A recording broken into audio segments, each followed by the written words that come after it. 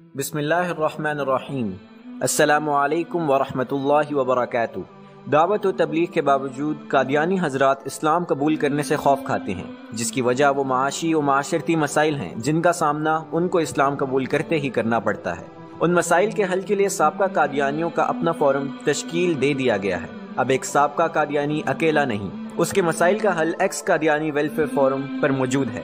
अपने और दूसरों के मसाइल हल करने के लिए अभी और इसी वक्त इस फोरम का हिस्सा बने। अपनी मालूम ex Qadiani welfare forum at Gmail dot com पर ई मेल करें। जी अलैक्म उम्मीद है दोस्त साहब आप खैर वाफियत से होंगे। आपका दोस्त अमिर हक आपकी खिदमत में हाजिर है। दोस्तों जैसा कि थंबनेल से आपने देखा नहायत थी दिलचस्प और बड़ी अहमियत की हामिल आज कोशिश करेंगे गुफ्तु हो जाए। मेरे साथ साहब मौजूद होंगे और हमारे एक अहमदी दोस्त भी। जैसा कि आपने थंबनेल से देखा है कि आज एक अहमदी दोस्त हैं, उनकी फैमिली है।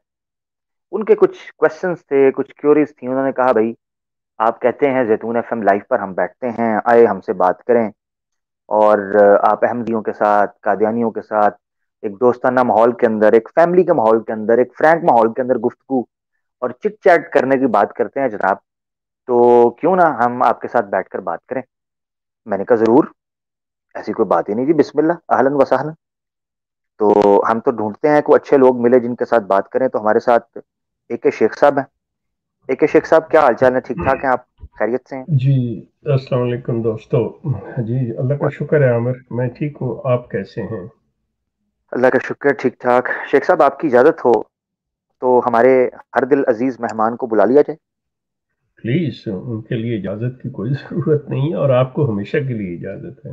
जी। जजाक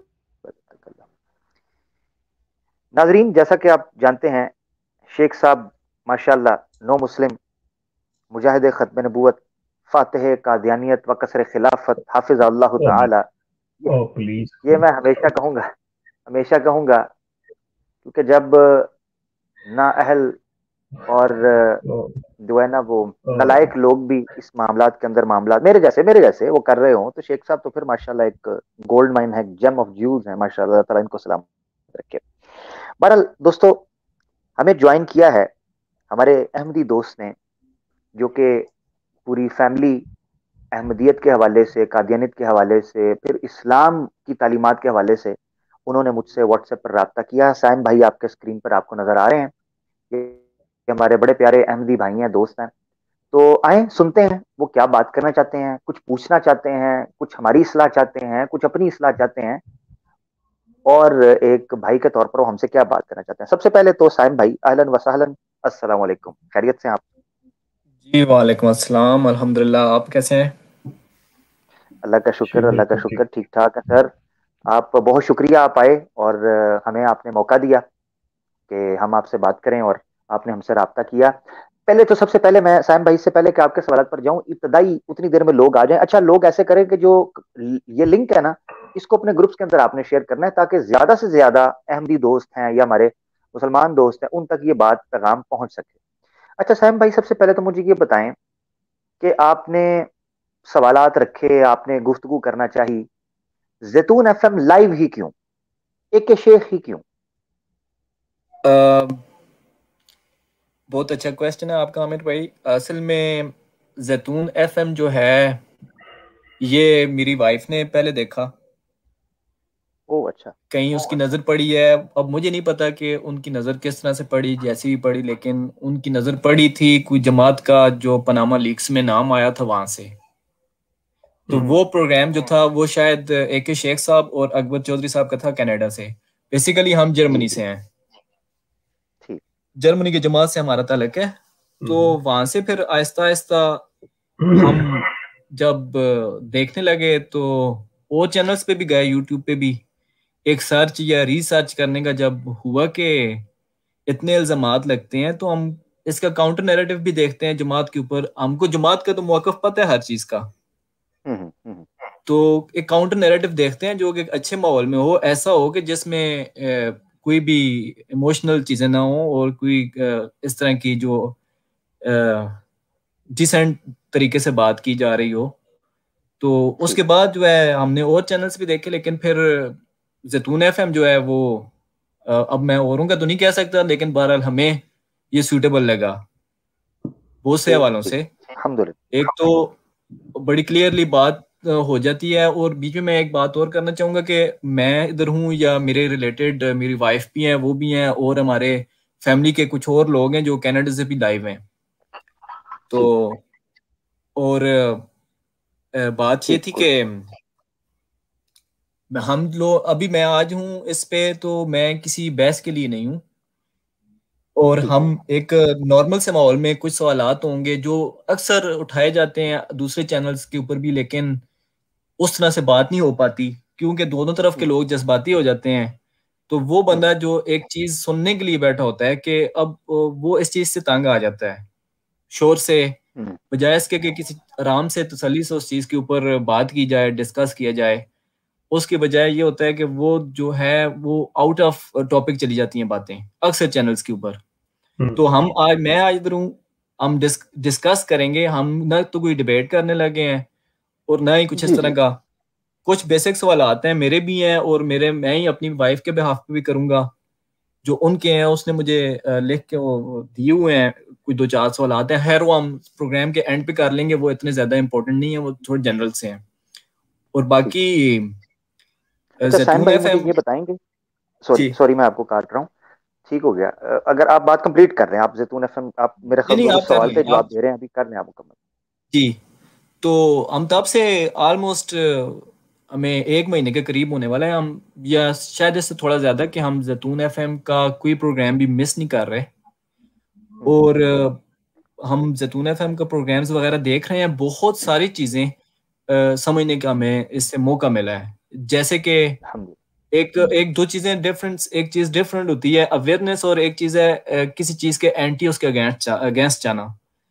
तो जैतून एफ़ हम्म। पे हमने तो यही फील किया है शायद और लोगों ने कुछ और किया हो कि यहाँ पे अवेयरनेस ज़्यादा है और ये एंटी जमात नहीं आ, हमें एंटी जमात फील नहीं हुआ। हम्म, और बाज़ आ जाते हैं हमारे डी भाई भी आते हैं तो वो उस चीज़ को डिबेट करने की कोशिश करते हैं या कुछ अलग उनके सवाल भी अगर देखें तो जायज़ होते हैं लेकिन वो जिस जिस मैनर्स में जाके सवाल होते हैं या फिर उस उसका वैसे ही आगे से ज़ाहिर है रिप्लाई होता है। तो नॉर्मली हम्म।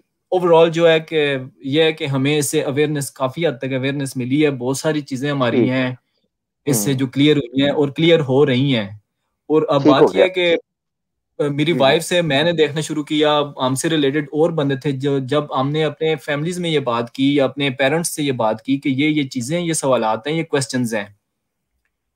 तो वहाँ से फिर वो चीज़ जो है आहिस्ता आहिस्ता आगे निकल गई है। तो अब मुझे नहीं पता बाकियों का कि वो तो शायद काउंटर नैरेटिव के लिए देखना चाह रहे हैं या किस चीज़ के लिए लेकिन बहरहाल हमें सूटेबल लगा है हमारे पॉइंट ऑफ़ व्यू से कि हमें चीज़ समझने में आसानी होती है और टू द पॉइंट होता है और बगैर किसी लड़ाई या इस तरह के वो डिबेट्स वगैरह का माहौल नहीं है। तो हम्म, इसलिए आज मैं भी फ्री था हम घर में थे तो शॉर्ट नोटिस पे आप लोगों को आप लोगों को मैंने इन्फॉर्म किया और थैंक यू कि आप लोगों ने जो है इस चीज़ को अरेंज कर लिया। हालाँकि बहुत शॉर्ट नोटिस था। कोई बात नहीं है मैं हकीकत आपको बताऊँ कि शेख साहब तो डेडिकेटेड है। मैंने शेख साहब को एक मिशनरी इंसान पाया है। इसमें कोई शक नहीं। शेख साहब का कोई निजी मामला अगर ना हो तो वो कभी भी सुस्ती और काहली से काम नहीं लेते। मैंने कभी उनको सुस्ती में नहीं देखा इस काम के हवाले से। नंबर एक। मैं चूँकि हकीकत यह है कि शेख साहब माशाल्लाह एक हैं कि उनको तैयारी करने की ज़रूरत नहीं है। वो एक इल्म का खजीना है। मैं बोलता हूँ तो कितनी चीज़ें वो मेरी सलाह करते जाते हैं अपने हिफ्ज से, अपने हाफजे से। माशाल्लाह वो मेरी सलाह करते हैं। मेरी ये ऐसे नहीं, ऐसे। प्रोग्राम के बाद भी मुझे कह रहे होते हैं अच्छा ये जुमला जो है ना, ये उस किताब में ये था। वो वो हाफजे से अपना माशाल्लाह मुझे बताते हैं। मुझे थोड़ी करनी पड़ती है, थोड़ी मेहनत। नंबर एक। नंबर दो, मैं शेख साहब रिटायर्ड माशाल्लाह। तो मैं चूँकि मेहनत मजदूरी करता हूँ, मैंने कई मारनी होती है, दातरी चलानी होती है, सरिये गाड़ी से उतारने, रखने, ये मैं मजदूरी करता हूँ। तो मेरा प्रोफेशन नहीं है ट्वेंटी फोर सेवन मेरा प्रोफेशन नहीं है दावत, ये मेरा पैशन है, इसको मैंने लदा रखा हुआ है मेरा मजदूरी मेरी लदा है। इसलिए बहुत से दोस्त मुझसे जब रबता करते हैं, वो ये एक्सपेक्ट कर रहे होते हैं कि मैं ऑन द स्पॉट उनसे बात शुरू हो जाएगी और फोनों पर वो सारी गपशप हो जाएगी। ये मेरे लिए बहुत मुश्किल काम है। बहुत से लोग ऐसे हैं जिनके साथ मुझे महसूस गिल्टी फील हो रहा होता है कि यार मैं इनको टाइम नहीं दे पा रहा। उसकी वजह मेरी अपनी ज़िंदगी निजी ज़िंदगी है। तो आपने जो शॉर्ट नोटिस का इसमें कोई शक नहीं कि मैंने एक दो प्रोग्राम अपने हवाले से रखे थे, घर के हवाले से भी, और इसके अलावा भी। मगर मेरे लिए साइम भाई एक अहमदी दोस्त से, एक अहमदी भाई से जो हमसे पूछना चाह रहा हो, मुझे इससे बढ़कर कुछ भी नहीं है। चाहे मेरे अपनी ज़िंदगी को कोई भी काम हो। मैं उसको समेट कर इनशाला आप लोगों के साथ बैठने को तैयार हूँ। एक तो चीज़ ये बता दू। दूसरा साइम भाई मैं आपसे इब्तदाई तौर पर दो तीन चीज़ें पूछना चाहता हूँ अगर आप बताना चाहें। साइम भाई आपकी एज कितनी है? उम्र कितनी है आपकी? ए, मेरी एज ट्वेंटी सेवन है। ट्वेंटी सेवन माशाल्लाह ठीक हो गया। यानी यंग है जवान है। ये बड़ी अच्छी बात है। इसका मतलब है इसका मतलब है कि आप जवानी के अंदर भी हक और बातिल की तलाश के लिए उतने ही आप ये समझे मुतहरक हैं फ़ाल हैं आप चाहते हैं। और फिर माशाल्लाह आप शादीशुदा भी हैं बच्चे भी आपने बताया फैमिली भी है यानी सारी एक्टिव है। ये बड़ी अल्लाह की बहुत बड़ी नेमत है इसको आप इसको हल्का मत लीजिएगा कभी। अल्लाह के रसूल पाक सल्लल्लाहु अलैहि वसल्लम फरमाते हैं कि ला तहकीरन्ना मिनल मारूफ शैआ नेकी में से किसी चीज़ को भी हकीर और छोटा मत जानो चाहे अपने भाई की तरफ़ मुस्कुरा कर देखना ही क्यों ना हो। ठीक है जी? तो ये याद रखें कि जो दीन के हक और बातिल को सीखने की जो जस्तजू और तोफीक है ना ये अल्लाह की नेमत है। ये हमेशा जहन में रखें। इंसान के हक में अल्लाह ताला ने रखी है कोशिश। बाकी वो सवाब पर पहुँचता है या खता पर पहुँचता है ये अल्लाह के इख्तियार में है। ठीक है ना? हिदायत और हतमी फैसला ये अल्लाह के हक में है। तो हमने कोशिश करनी है। एक तो मैं ये चीज़ पूछना चाह रहा था। दूसरा साइम भाई मुझे ये बताएँ कि आप अपनी मर्ज़ी से आए हैं? आपको कोई आ, कोई कोई डर खौफ को प्रेशर तो नहीं है? हमसे आप अपनी खुशी से आए हैं ना हमारे पास? जी जी इसमें तो हम एक इंडिपेंडेंट कंट्रीज़ में रह रहे हैं यहाँ पे तो कोई प्रेशर की बात नहीं है। ज़बरदस्त ठीक हो गया। अच्छा ये दोस्त नीचे कह रहे हैं ए, ये एक भाई ने बात की है। अच्छा कहते हैं जी आमिर भाई ब्रादर साइम आपके हम उम्र हैं। नहीं मैं एक बात आपको बता दूँ। जो साइम भाई हैं ये ट्वेंटी सेवन के हैं माशाल्लाह he is younger than me मैं ट्वेंटी नाइन का हूँ। तो ये मुझसे यंगर है माशाल्लाह। तो अल्लाह ताला यही, यही चीज़ ये, यही चीज़ वो जानना चाह रहे थे कि आप अपनी उम्र बता दें सो आपने बता दी। चले।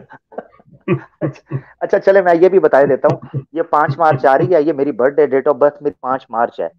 तो मैं ट्वेंटी नाइन अलहमदुल्ला कंप्लीट हो जाएँगे मेरे। तो वो पता चल जाए वो बुज़ुर्ग कई समझते हैं शेख साहब जैसे कि भाई फोर्टी फाइव का या फोर्टी का है तो अच्छी बात है खैर बैक टू द हमारे भाई सैम भाई हैं।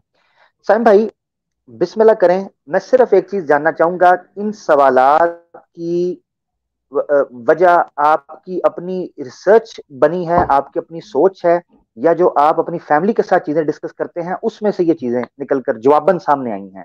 यानी ये आप इस चीज़ों पर मुतमिन हैं ये आपके भी सवाल हैं? ये सवाल मेरे भी हैं और यही सवाल मेरी वाइफ के भी हैं और मुझे यकीन हो चुका है कि यही सवालात बहुत सारे हमारे यंगस्टर जो जर्मनी में या यूरोप में अहमदीज हैं खासकर वो अब हमें तो उर्दू पढ़नी आती है हम समझते भी हैं लेकिन बहुत सारे हैं जिनको नहीं आती। और आपको पता है कि जमात की बहुत सारी किताबें जो हैं वो ट्रांसलेटेड नहीं है अभी तक। तो मैं तो ये समझता हूँ कि ये सवाल जो हैं एक बेसिक वेस्टर्न अहमदीस जो भी हैं उन सब की हैं। ठीक हो गया। चले फिर अब बिस्मिल्लाह करते हैं साइम भाई और नादरी मैं ये बता दूँ मुझे नहीं पता साइम भाई ने सवाल क्या पूछने हैं? मैंने इनसे कहा कि किससे मुतलिक हैं? इन्होंने कहा कि कुछ नबूवत के इजरा से मुतलिक हैं, कुछ और दो तीन चीज़ें इन्होंने मेरे सामने रखी तो मैं कोशिश करूँगा कि जो मुझे पता है मैं रख दूँ। ये कोई ऐसी चीज़ नहीं है कि मैंने तो इनको कहा भी था कि अगर आप मुझे बता दें तो मैं कोई अच्छी तैयारी कर लूँगा। मगर सैम भाई ने कहा कि ये भी शायद मसरूफ हो गए मैं भी मसरूफ हो गया तो मुझे पता नहीं चल सका कि एग्जैक्ट सवाल है क्या। अगर मैं थोड़ी सी तैयारी कर, क्योंकि देखे मैं स्कॉलर नहीं हूँ, कोई अलामा फामा नहीं हूँ। थोड़ी सी तैयारी करने से ये होता कि मैं अच्छे तरीके से साइम भाई को गाइड कर सकता और इन्हीं के तवसत से यूट्यूब के थ्रू मैं लाखों हज़ारों लोगों को भी अच्छे तरीके से गाइड कर सकता था। मगर वमा अलैना इल्लल हम कोशिश करते हैं, ला इल्म लना इल्ला मा अल्लमतना, जो इल्म अल्लाह ने दिया है, उसके मुताबिक हम कोशिश करते हैं कि चीज़ों को समझे। रब्बी शराहली सदरी व यसरली अमरी वहलुलतम लिसानी यफ़क़हू कौली। अल्लाहुम्मा अरिनल हक हक्कन वर्जुकन तिबाअहू ए अल्लाह, हमें हक हक नज़र आए और उसकी इतबा करने की तौफीक दे।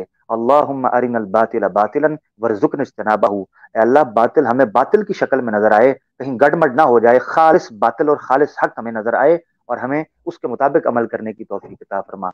मेरे मौला ये साइम भाई, तेरी तलाश के लिए, तेरी जस्तजू के लिए, हक की मुतलाशी के तौर पर आज इन्हों मंजर आम पर आए हैं। मेरे मौला, हम दोनों को पार लगा, हमारी ये जैतून टीम को लोगों की सलाह का ज़रिया बना अगर हम गलत हैं तो हमारी सलाह हो जाए। अगर ये लोग गलती पर हैं खता पर हैं मेरे मौला इनकी सलाह फरमा। तू बहुत रहीम रहमान है मेरे मौला। तू कभी भी राज़ी इस चीज़ से नहीं होता कि कोई बंदा गलती पर रहे। तू हमेशा चाहता है कि इंसान तोफीक तेरी पाकर अपनी सतात और कोशिश के साथ हक की तरफ़ लौट आए। ऐ मेरा मौला हम लौटा दे। बहुत शुक्रिया सैम भाई। बिस्मिल्लाह करें। जी जजाकला आमिर भाई। तो मैं पहले आपके सामने आपको तो आप भी, आपको भी पता है, हमें भी पता है, सूरह नसा की एक आयत है। और, जब हमारी ये बात हो रही थी इस इन चीज़ों को लेके डिस्कस फैमिली के अंदर तो यही आयत जो है, मेरी मदर इन लॉ है, उन्होंने भी हमें सेंड की कि यहाँ से देखें, यहाँ से भी जो है नबूत का इजरा हो रहा है। वो जर्मन ट्रांसलेशन में भी है, हमारे पास उर्दू में भी है। तो सूर्य नसा की आयत है, वही आप सबको पता है, जो अहमदी और गैर अहमदियों के दरमियान जो भी होता है, या आप जो भी कह लें कि वो मैं युती और रसूल फ़लाका मालजीना अनहम मिनल नबीजीन व सिद्दीकीन व हसन ओलाय का रफ़ीका। तो ये सूरह नसा की आयत है। और अच्छा, आयत नंबर मुझे बताइएगा क्योंकि मैंने इसको मुझे हाँ मुझे नहीं पता था मैं इसको ओपन अभी करूँगा। यानी मुझे आयत का तो पता है मगर मैंने उसको बैनर में अपलोड नहीं किया था। तो आयत नंबर के ये आयत नंबर है सिक्सटी नाइन है। सेवेंटी है हमारी। अच्छा ठीक है। सूरह निसा की है। क्योंकि बिस्मिल्लाह को भी में शुमार करते हैं तो एक नंबर आगे तो आप लोगों के पास 69 होगी। एक नंबर आगे कर ठीक हो गया ठीक हो गया no problem no problem no problem एक ही चीज़ है। एक ही चीज़ होगी। तो, ठीक है आप इस पर करें साइम भाई बात। आप क्या कहना चाह रहे हैं? मैं उतनी स्क्रीन पर ले आता हूँ। जी। जी आप लेके आए। ये आयत में अल्लाह पाक फरमा रहे हैं, जैसे कि अगर हम ट्रांसलेशन देखें कि अगर आप लोग अल्लाह और अल्लाह के रसूल की अतात करेंगे तो आप लोगों को वही मनसब या वही आपके ऊपर रहमतें, आपको रहमतें या नेमतें आपको मिलेंगी। और आप नबी भी आपको, नबी भी बन सकते हैं, आप शहदा और सालहीन में भी शामिल हो सकते हैं। तो एक सवाल मैं इसके साथ एक और रख दूँ कि जो दूसरी आयत है कुरान की के जिसमें अल्लाह पाक फरमा रहे हैं जिसमें नबी के ऊपर है कि खातम खातम नबीजीन की जो आयत है। तो क्या कुरान का ये पैटर्न है कि कुछ आयतें जो पहले आई हैं उनको जो बाद में आयात आती हैं वो पहली वाली आयतों को मनसूख कर देती हैं या एक किस तरह से जैसे कि एक चीज़ एक पैटर्न में होती है? या इन दोनों को हम्म, हम्म, हम्म। अलग अलग करके देखा जाता है? ठीक हो गया। अच्छा यार ये मेरे से बड़ा मसला है। मुझे जब मिनिमाइज करता हूँ ना तो शेख साहब की वीडियो मेरे पास रुक जाती है। तो मुझे फिर उलझन क्योंकि मुझे शेख साहब का चेहरा मुतहरक नज़र ना आए तो मुझे फिर मज़ा नहीं आता। खैर बहरहाल मुझे अब वापस जाना पड़ेगा। वो मैं जाना नहीं चाह रहा वक्त जया होगा। तो मैं इसीलिए कंटिन्यू करता हूँ। माजरत चाहता हूँ। हाँ ठीक है। अच्छा ठीक है। अच्छा सैम भाई दो आयत दो आयात दो सवालत हैं मुख्तलिफ़ जो आपने रखे हैं उनको अलग अलग हम लेते हैं। एक आयत जो मैंने निकाल ली है ये आपकी स्क्रीन के ऊपर ये आयत है। सूर्य निसा की सिक्सटी नाइन कर लें या सेवेंटी कर लें सेम थिंग है आयत वही है। ठीक है जी? अउज़बिल्लाहिमिनश्शैतानिर्रजीम वमन युति अल्लाह व रसूल फउलाइका मअल्लज़ीना अनअम अल्लाहु अलैहिम मिनन नबिय्यीन वस्सिद्दीकीन वश्शुहदाई वस्सालिहीन व हसुन उलाइका रफीका। ये मुकम्मल आयत हो गई अच्छा यहाँ पर ये चीज़ बयान की जा रही है जो इस्तदलाल साइम भाई कर रहे हैं जमात अहमदिया के दोस्त हमारे मुरबियान करते हैं। वो ये कहते हैं देखें यहाँ पर कहा जा रहा है कि जो अल्लाह और उसके रसूल की इतात करेगा, उनको कुछ इनामात दिए जाएँगे, बुनियादी तौर पर चार किस्म के रुतबे।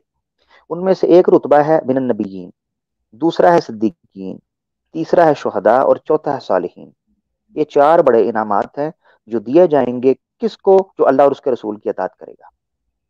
अब ये कुरान की सलीस आयत से, साफ़ आयत से ये चीज़ निकल रही है।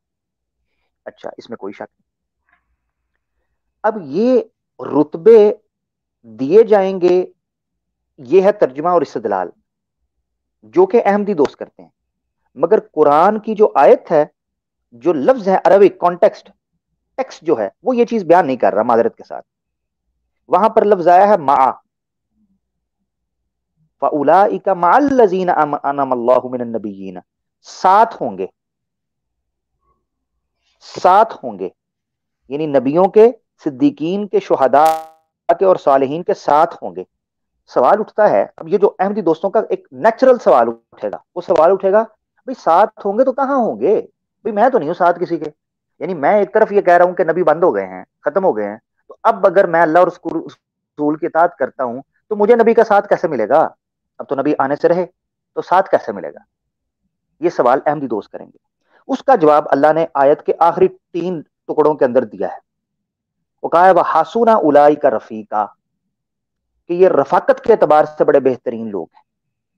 इससे भी ये चीज़ मोहर लग गई कि यहाँ जो माइत बयान हो रही है, वो गोया अंबिया, सिद्दीकीन, शोहदा, सालहीन की रफाकत है।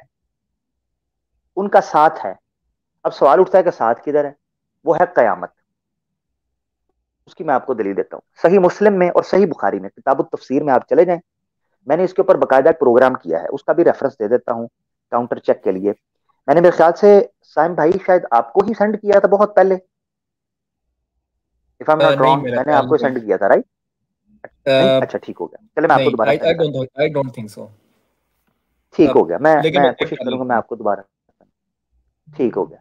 अच्छा जैतून एफ़ एम लाइव के ऊपर एक प्रोग्राम मैंने किया है तकरीबन चार या पाँच प्रोग्राम किए हैं सीरीज़ वाइज जिसका टॉपिक है अकीदा खत्म नबूवत और कुरान।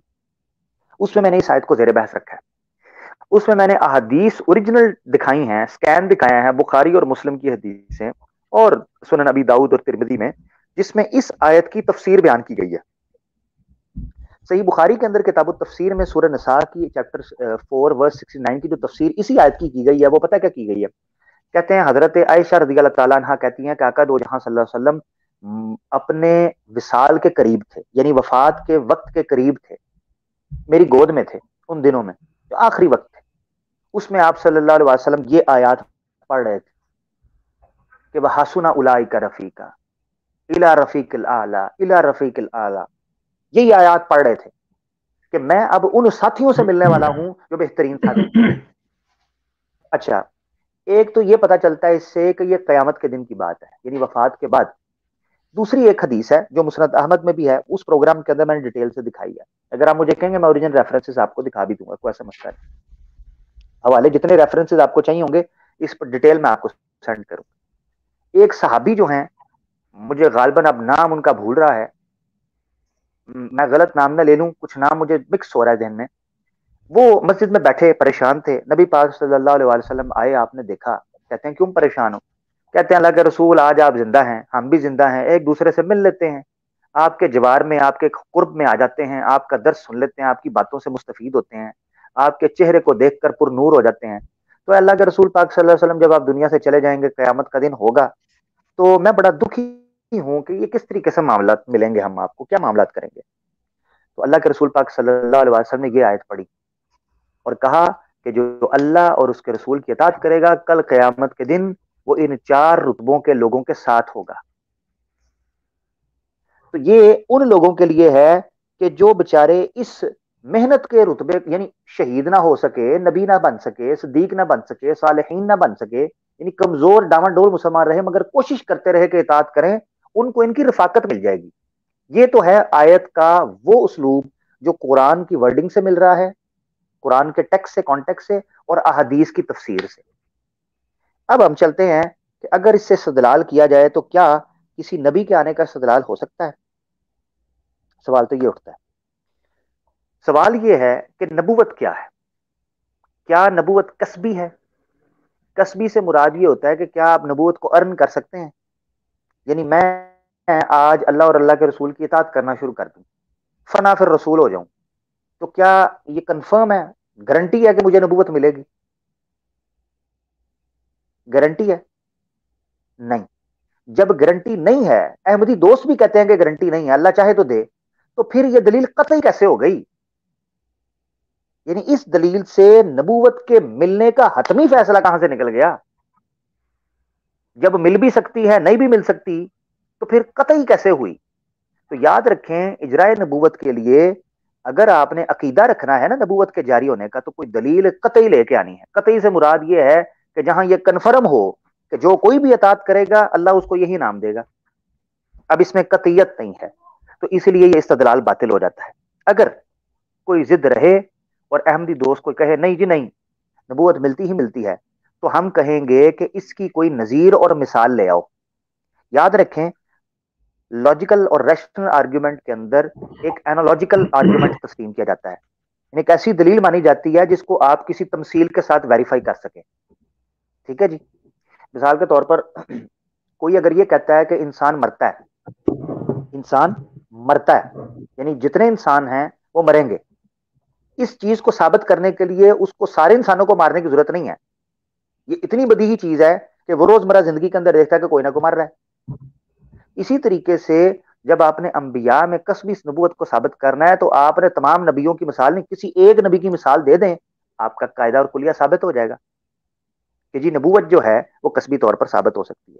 अब मेरा सवाल ये है अहमदी दोस्तों से मुरबियान से फ़ूड फॉर थॉट कि मुझे ये बताएँ कि क्या एक लाख चौबीस हज़ार, या जितने अंबिया गुजरे हैं कथा नज़र आप हदबंदी करें, कितने अंबिया गुजरे हैं, कोई एक नबी भी इस उसूल पर आया है कि उसने अपने से पहले किसी नबी की इतात की हो और वो इतात अपनी मेराज और कमाल को और जमाल को पहुँची हो और फना फिर रसूल से होते हुए जिल्ली और बरूजी और इस्तारी और गैर हकीकी, फिर हकीकी, फिर गैर तशरी और फिर तशरी नबूवत का हामिल को बंदा बन जाए।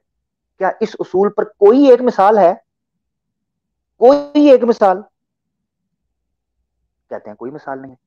जब कोई मिसाल ही नहीं है तो फिर मैं कैसे कतई तौर पर इस चीज़ को मान लूँ कि इस आयत से इजराय नबूवत निकलता है और वो भी इताद के साथ, यानी कसबी, वहाँ भी नहीं।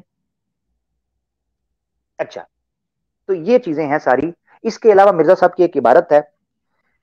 वो इबारत भी मैं आपको एकदम तो मैं यानी मेरे पास पड़ी हुई है इस वक्त। मैं आपको दिखा दूँगा, मैं थोड़ी सी निकालता हूँ आगे पीछे जाके। उस इबारत में मिर्ज़ा साहब ने इसी आयत को सामने रखते हुए कहा है कि इनमें से जिनका जमाना मिल जाए, उनकी रिफाकत हासिल कर लो। यानी ये ज़रूरी नहीं है कि इससे नबी ही निकलेगा। यही तो मैं कह रहा हूँ कि कतियत साबित नहीं। यानी मिर्ज़ा साहब ने गलबन आला कमालत इस्लाम है, मैं अगर थोड़ा सर्च करूँगा तो मुझे मेरे फ़ोन के अंदर उनकी इबारत मिल जाएगी। और मैं बल्कि आपके लिए बात करता करता ढूंढ भी लेता हूँ। अगर शेख साहब उस पर कोई तबसरा करना चाह रहे हैं कर लें उतनी देर में मैं कोई वो जो है ना मिर्ज़ा साहब की इबारत ढूंढ लेता हूँ ताकि मैं आपके लिए ऑन कर भी दूँ ये मेरी नज़र के सामने ही होगी। जी शेख साहब आप कुछ बात कर लें मैं उतनी देर में देख लेता हूँ। Thank you. Thank you. जी साइम साहब ये चीज़ जहन में रखिए कि मिर्ज़ा साहब ने चूँकि जैसा कि आमिर ने इस चीज़ को बता भी दिया है कि हम कितने शॉर्ट नोटिस पे बात कर रहे हैं। इवन मैं अपने अभी जो आपने देखा होगा कि मैं अपने नोट्स वगैरह तलाश करने की कोशिश कर रहा था। मिर्ज़ा साहब एक जगह पे फरमाते हैं कि इस मनसब के लिए मैं ही मखसूस किया गया हूँ, सिर्फ़ एक मैं ही हूँ। मतलब इस, जो भी नबूवत है, इसके लिए सिर्फ़ मैं हूँ, कोई और नहीं। मिर्ज़ा साहब ने जो बाज़ जगह पे कहा है कि और मसीह आएँगे। मतलब ये चीज़ कही है, लेकिन नबी जो है नबूवत, इसके ऊपर मतलब हमारी, काफ़ी मेरी और चौधरी अकबर साहब की वीडियोस भी हैं, जो कि अंसर रजा साहब से बातें भी हुई हैं, कि क्या नबूवत अमूमी जारी है या नबूवत खसूसी, खासी नबूवत जो है सिर्फ़ किसी एक के लिए, मखसूस जो है तो बात ये आती है कि मिर्ज़ा साहब इस चीज़ के कायल हैं कि सिर्फ़ और सिर्फ़ मेरे लिए थी। दूसरी चीज़ जो पॉइंट इस आयत के अंदर यह है कि मिर्ज़ा साहब को अतात के नतीजे में जो बुनियादी तौर पे अहमदी अहबाब लेके चलते हैं कि अतात के नतीजे में। अब यहाँ पे मैं सवाल उठाऊँगा कि मिर्ज़ा साहब के अपने दावे, अपने ऐलान के मुताबिक जो कि उन्होंने अपनी किताबों के अंदर मुकर्र तहरीर की है ये बात कि मैंने रसूल अल्लाह की इतनी अतात की, इतनी अतात की। सवाल यह है कि व्हाट इज़ द प्रूफ अतात कहते किसको हैं? अतात क्या की? क्या नमाजें पढ़ना अतात है? क्या चिल्ले करना अतात है?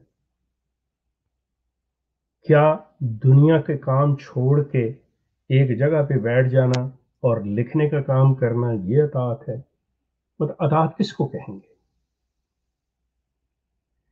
जब अतात सिर्फ़ अपनी ज़ुबान से हो मतलब ठीक है, उनके वालिद कहते हैं कि मेरा बेटा मसीतड़ है।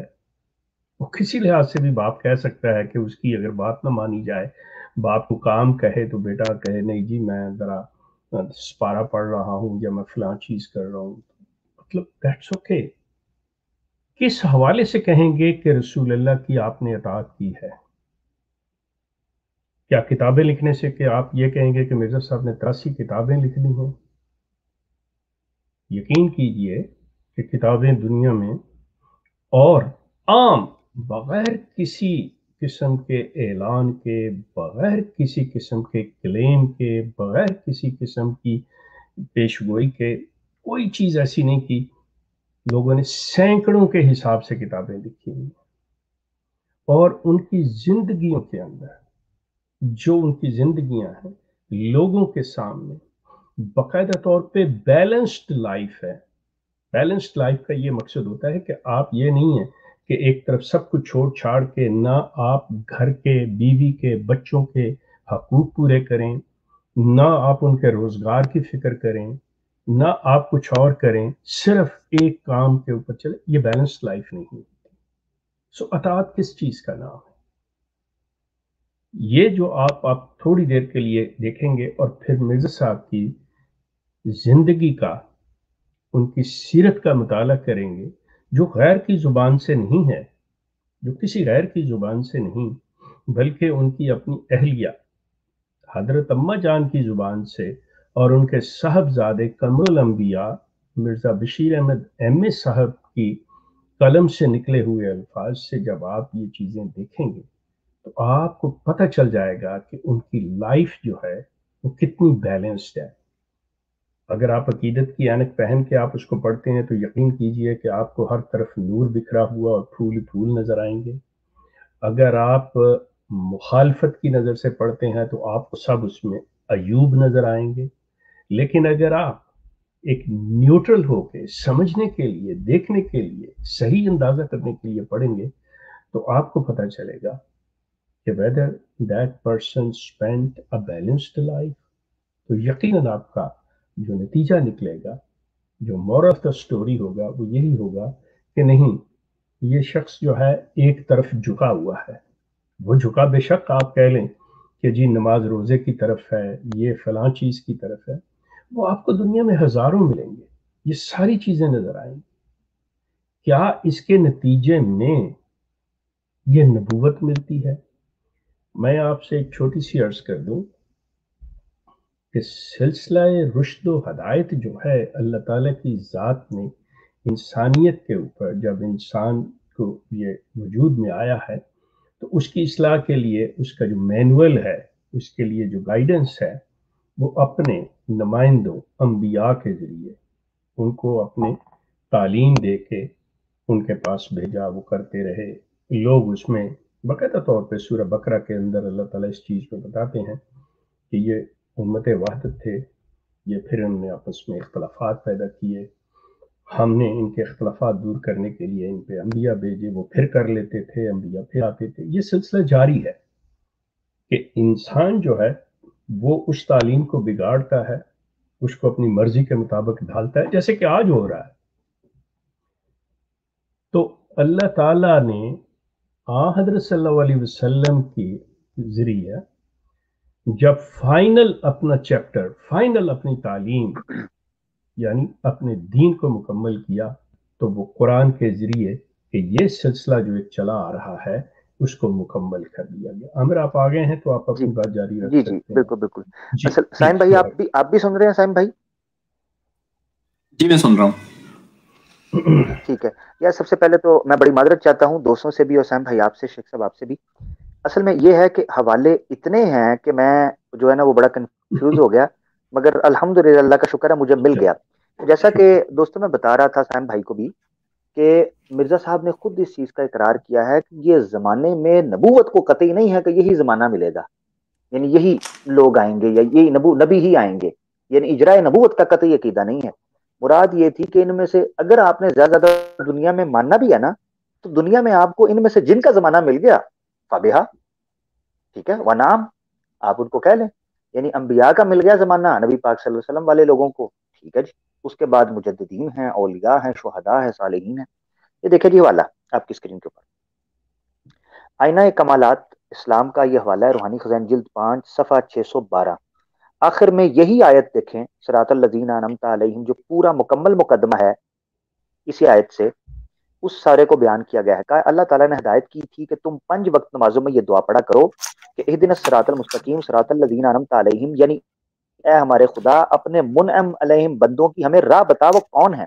नबी और सिद्दीक और शहीद और सुलह, इस दुआ का खुलासा मतलब यही था कि इन चारों ग्रोहों में से जिसका जमाना तुम पाओ, उसके साया सोबत में आ जाओ। ठीक है? अब इससे भी ये चीज़ पता चलती है कि मिर्ज़ा साहब को कोई ये कतई और हतमी फैसला नहीं था कि नबियों का ही जमाना मिलना चाहिए, या इजरा नबूत होनी चाहिए इससे। मुराद ये थी कि इतात अल्लाह और रसूल के लिए अगर तुम्हें इनमें से किसी का जमाना मिलता है ना, तुम उनकी सोबत कर लो। अब चूँकि दूसरी आयात से यह पता चलता है कि ये, यानी दूसरी अहदीस से और कुरान के कॉन्टेक्ट से ये पता चलता है कि ये आयत आखिर उस जमान के लिए है। यानी नबी पाक वसल्लम ने जिस तरीके से बयान किया या साहबा ने जिस तरीके से परेशानी का जार किया तो इसका तल्लुक क्यामत के साथ। खैर बहरल सैम भाई, आपने ना दूसरा हिस्सा जो बयान किया, उसको मैं अटैच करने लगा ठीक है? और मैं कोशिश करूँगा अगर आपका इसमें कोई सवाल है तो वो कर लें ताकि आपके साथ ज़्यादा ना हो। जी जी मेरा एक छोटा सा सवाल है। मेरे सामने खलीफा सानी का जो तफसीर सगीर पड़ी हुई है और मैं उसका तर्जमा अभी मैंने खोला हुआ है। तो इसका तर्जमा उन्होंने ये किया है और जो लोग भी अल्लाह और उसके रसूल की अतात करेंगे वो उन लोगों में शामिल होंगे जिस पर अल्लाह ने इनाम किया। और इस चीज़ के ऊपर ज़ोर दिया जाता है कि मिनन नबीजीन आया है। तो मिनन का क्योंकि शायद प्रपोजिशन है जिसका मन है में शामिल होना है या में से या इस तरह से। तो नीचे उन्होंने लिखा हुआ है जी okay. जी मैं पूरा पढ़ देता हूँ दफ़ा। और जो लोग भी अल्लाह और उसके रसूल की अतात करेंगे वो उन लोगों में शामिल होंगे जिन पर अल्लाह ने इनाम किया है यानी अम्बिया और सिद्दीकीन और शहदा और सालहीन में। और ये लोग बहुत ही अच्छे रफीक हैं। और नीचे पर उन्होंने कहा हुआ है कि कुरान करीम में महा का लफ्स है जिसके मानी साथ के हैं मगर महा के मानी मिन के भी होते हैं। और वही मानी हमने यहाँ किए हैं। वो ये कह रहे हैं कि महा के हमने यहाँ पे मिन मानी किए हैं क्योंकि इसके मानी मिन के भी होते हैं। वरना तवफना महल इब्रार की आयत के ये मानी करने पड़ेंगे कि जब नेक फोत हो तो साथ ही हमको भी मार दे। और ये बिल बदात खल्त और खिलाफ अकल दुआ बन जाती है। तो यहाँ पे उन्होंने माना उसका किया हुआ है कि उन लोगों में शामिल होंगे जबकि बाकी मैंने ऑनलाइन देखा है वहाँ पे वो माना करते हैं कि उन लोगों के साथ होंगे। तो अगर आप पीछे से इसका तर्जमा करेंगे उन लोगों के साथ होंगे यानी नबियों में से तो ये पीछे वाले कॉन्टेक्स्ट के साथ अगली बात जो है वो आपस में वो थोड़ी सी कंट्रोवर्शियल हो जाती है। तो मैं ये पूछना चाह रहा था कि अगर आप मिनन नबीन का ये तर्जमा करेंगे नबियों में से तो फिर तो बात थोड़ी सी और हो जाती है। बाकी बातें आपकी हम्म। सारी मैं समझ चुका हूँ सुन रहा हूँ लेकिन ये थोड़ा सा मेरा एक पॉइंट था अगर आप इसको क्योंकि हमें तो इतना अरेबिक ग्रामर का नहीं पता अगर आप इसको थोड़ा सा इसको कर दें तो। ज़रूर ज़रूर इसको करते हैं। देखें दो चीज़ें आपने रखी हैं सामने अब जो निकल कर सामने आई हैं वजाहत के बाद वो है एक है मा और एक है मिन। गो के इस आयत के ऊपर उसूली सवाल मैं रख चुका हूँ जिसका जवाब नहीं आता और ना आएगा। ये आप भी पूछ के देख लीजिएगा कि नबूवत कस्बी है या वहबी। गो के मैं उसूली एक इख्तलाफ रख चुका हूँ, सवाल बुनियादी तौर पर। मगर फिर भी, चूँकि समझना, समझाना मकसूद है, कोई हार जीत मकसूद नहीं है तो इसलिए आपके जो इश्कालात हैं, उनको लेना और उन पर बात करना, उनको सुलझाना, ये असल मकसद है हमारा। अच्छा तो आपने रखा कि जी वो माँ और मिन जो है, इसकी बहस को समझाएँ। देखें माँ का माना, माँ जो है, वो बिमाना मिन इस्तेमाल होता है, इसके लिए दलील चाहिए होती है। क्योंकि बाज़ात ये मिन के माना में इस्तेमाल होता है बाज़ात नहीं होता। अब किन जगहों पर होगा, किन जगहों पर नहीं होगा, इसका सवाल है। और उसका तरीका का, उसका उसूल क्या है? मिसाल के तौर पर अगर माँ को मिन के माना में इस्तेमाल करना है तो अल्लाह कुरान में कहता है इन अल्लाह साबिरीन। बेशक अल्लाह सब्र करने वालों के साथ है। अब यहाँ कोई जिद में माँ की बजाय मिन इस्तेमाल करना शुरू कर दे तो क्या अल्लाह सब्र करने वालों के साथ, यानी अल्लाह और सब्र करने वाले शरीक हो जाएँगे? यानी इन अल्लाह मिन साबिरीन, बन जाएगा तर्जुमा। तो वहाँ माँ जो है, वो माइत के लिए, साथ के लिए आता है। कि जिस तरीके से सबर करने वाले होते हैं ना, अल्लाह उनकी पुष्ट पनाई के लिए होता है। ठीक हो गया? अब ये उलाई कमाल लजीना का मुराद ये थी, ये जो मैयत थी कि हसुना उलाई का रफी का, उसकी तरफ़ इशारा कर रहा है कि ये मैयत मुराद है, मिन मुराद नहीं है। मैयत मुराद है। क्योंकि रफाकत जो है, वो मैयत को उसका तकाजा करती है, यानी डिज़ायर करती है। मिसाल के तौर पर मैं अगर आपकी रफाकत का दावा करता हूँ तो आपकी मैयत उसके पीछे लाजम मलजूम है। मगर उसका मतलब ये नहीं है कि मैं वासिक बन जाऊँगा, या मैं साइम बन जाऊँगा, या मैं बिलाल बन जाऊँगा, या मैं अली बन जाऊँगा, या जो भी कोई बंदे किसी का नाम होगा, एक शेख बन जाऊँगा, अगर मैं इनके साथ हूँ। मकसद कहने का यह है कि जो रिफाकत है और मैयत यह लाजम मलजूम है। अब कुरान के पूरे स्ट्रक्चर को मैं आपके सामने रखता हूँ, जरा तवज्जो कीजिएगा। वो कहते हैं जी उलाई का माल लजीना और आखिर में है रफाकत हसुना उलाई का रफीका। तो ये दो चीज़ें मिलकर माँ को मिन के माना से निकाल देती हैं और मैयत पर खास कर लेती हैं। क्योंकि रफीक रफीक के लिए साथ ज़रूरी है गैदरिंग ज़रूरी है। ठीक है ना? एक तो ये चीज़ आप समझिए। तो माँ का माना मिन यहाँ नहीं किया जा सकता, एक चीज़। दूसरा, मिन यहाँ क्यों नहीं किया जा सकता? क्योंकि मिन के माना का तकरार आएगा। ये भी आप समझे फलाई का यानी आगे मिन आया है और पीछे मा को मिन के माना में इस्तेमाल कर रहे हैं, जो कि तकरार है। यानी हम माना हरूफ जर का तकरार है, जो कि शकील है और इबारत को फसी बलीग नहीं रहने देता। उसकी खूबसूरती माँ के साथ ही है वो माँ मैयत और जरफियत के माना के अंदर ही है। इसीलिए वो माँ लेकर आए हैं वगैरह मीन नहीं ले आते। अब जब अब मिन का तर्जमा उलाई का मिनल लजीना नाम अल्लाह तो वो हो जाएँगे उन लोगों में से मिन नबीना, उन में से जो नबी हैं, ये शकील हो जाएगी इबारत तो मिन नबीन व सिद्दीकीन व शहदाई व सालहीन, ये मिन तबीज़ी है। यानी बाज लोग जो हैं, ठीक है, वो नबियों के साथ अल्लाह ताला जोड़ देंगे। बाज लोगों को सिद्दीकीन के साथ कब कयामत के दिन, क्योंकि मैं चीज़ स्टैब्लिश कर चुका हूँ, कि कुरान का टेक्स्ट और हदीस की शक्ल में जो शान नजूल है, जो उसका use of area of use है इम्प्लीमेंटेशन है, वो बयान कर रहा है कि ये वफात के बाद क्यामत के दिन की रफाकत होगी। इसलिए समझे कि बाज लोगों को अम्बिया के साथ दर्जे के अतबार से जोड़ा जाएगा, बाज लोगों को शहदा के साथ, बाज को सालहीन के साथ और बाज को सिद्दीकीन के साथ। ठीक है ना जी? तो ये ये है हकीकत इस सारी आयत की जो मिन है। वो इस तनाजुर के अंदर, समझना चाहिए। यानी मिन को आसान लफ्जों के अंदर आप समझे कि मिन तबईज का है। अरबी ज़ुबान में तबईज कहते हैं, बाज चीज़ों को बाज चीज़ों के साथ कैटेगराइज कर देना। यानी जुजी तौर पर बाज चीज़ों को बांट देना। ठीक है? तो यहाँ पर जो लोग अल्लाह और अल्लाह के रसूल की इतात करेंगे, वो इनाम याफ्ता लोगों के साथ तो होंगे, मगर उनको कैटेगराइज कर दिया गया है तबईज के ज़रिए। मिन के ज़रिए कि बाज नबी के साथ, बाज सिद्दीक के साथ, बाज शहदा के साथ, बाज सालहीन के साथ वो अपनी अपनी कैटेगरी में बांट दिए जाएँगे कब? क्यामत के दिन जिसको मैं स्टैब्लिश कर चुका हूँ। तो माँ रफाकत की वजह से माइत के माने में आएगा और मिन तबीज की वजह से कैटेगराइज के माने के अंदर आएगा। उसमें कतयत नहीं है। यानी इस साइड से मैं अक्सर जब मेरे साथ दोस्त पूछते हैं तो मैं उनको कहता होता हूँ, जो अहमदी दोस्त हमारे हैं, कि इस आयत के बजाय कुछ और आयत पेश करो। इसमें कतयत नहीं है, क्योंकि इसके अंदर मुख्तलिफ़ माने आ रहे हैं। साइम भाई आपकी इजाज़त हो तो मैं आगे चलूँ या आप इस पर मजीद को बात करना चाह रहे हैं?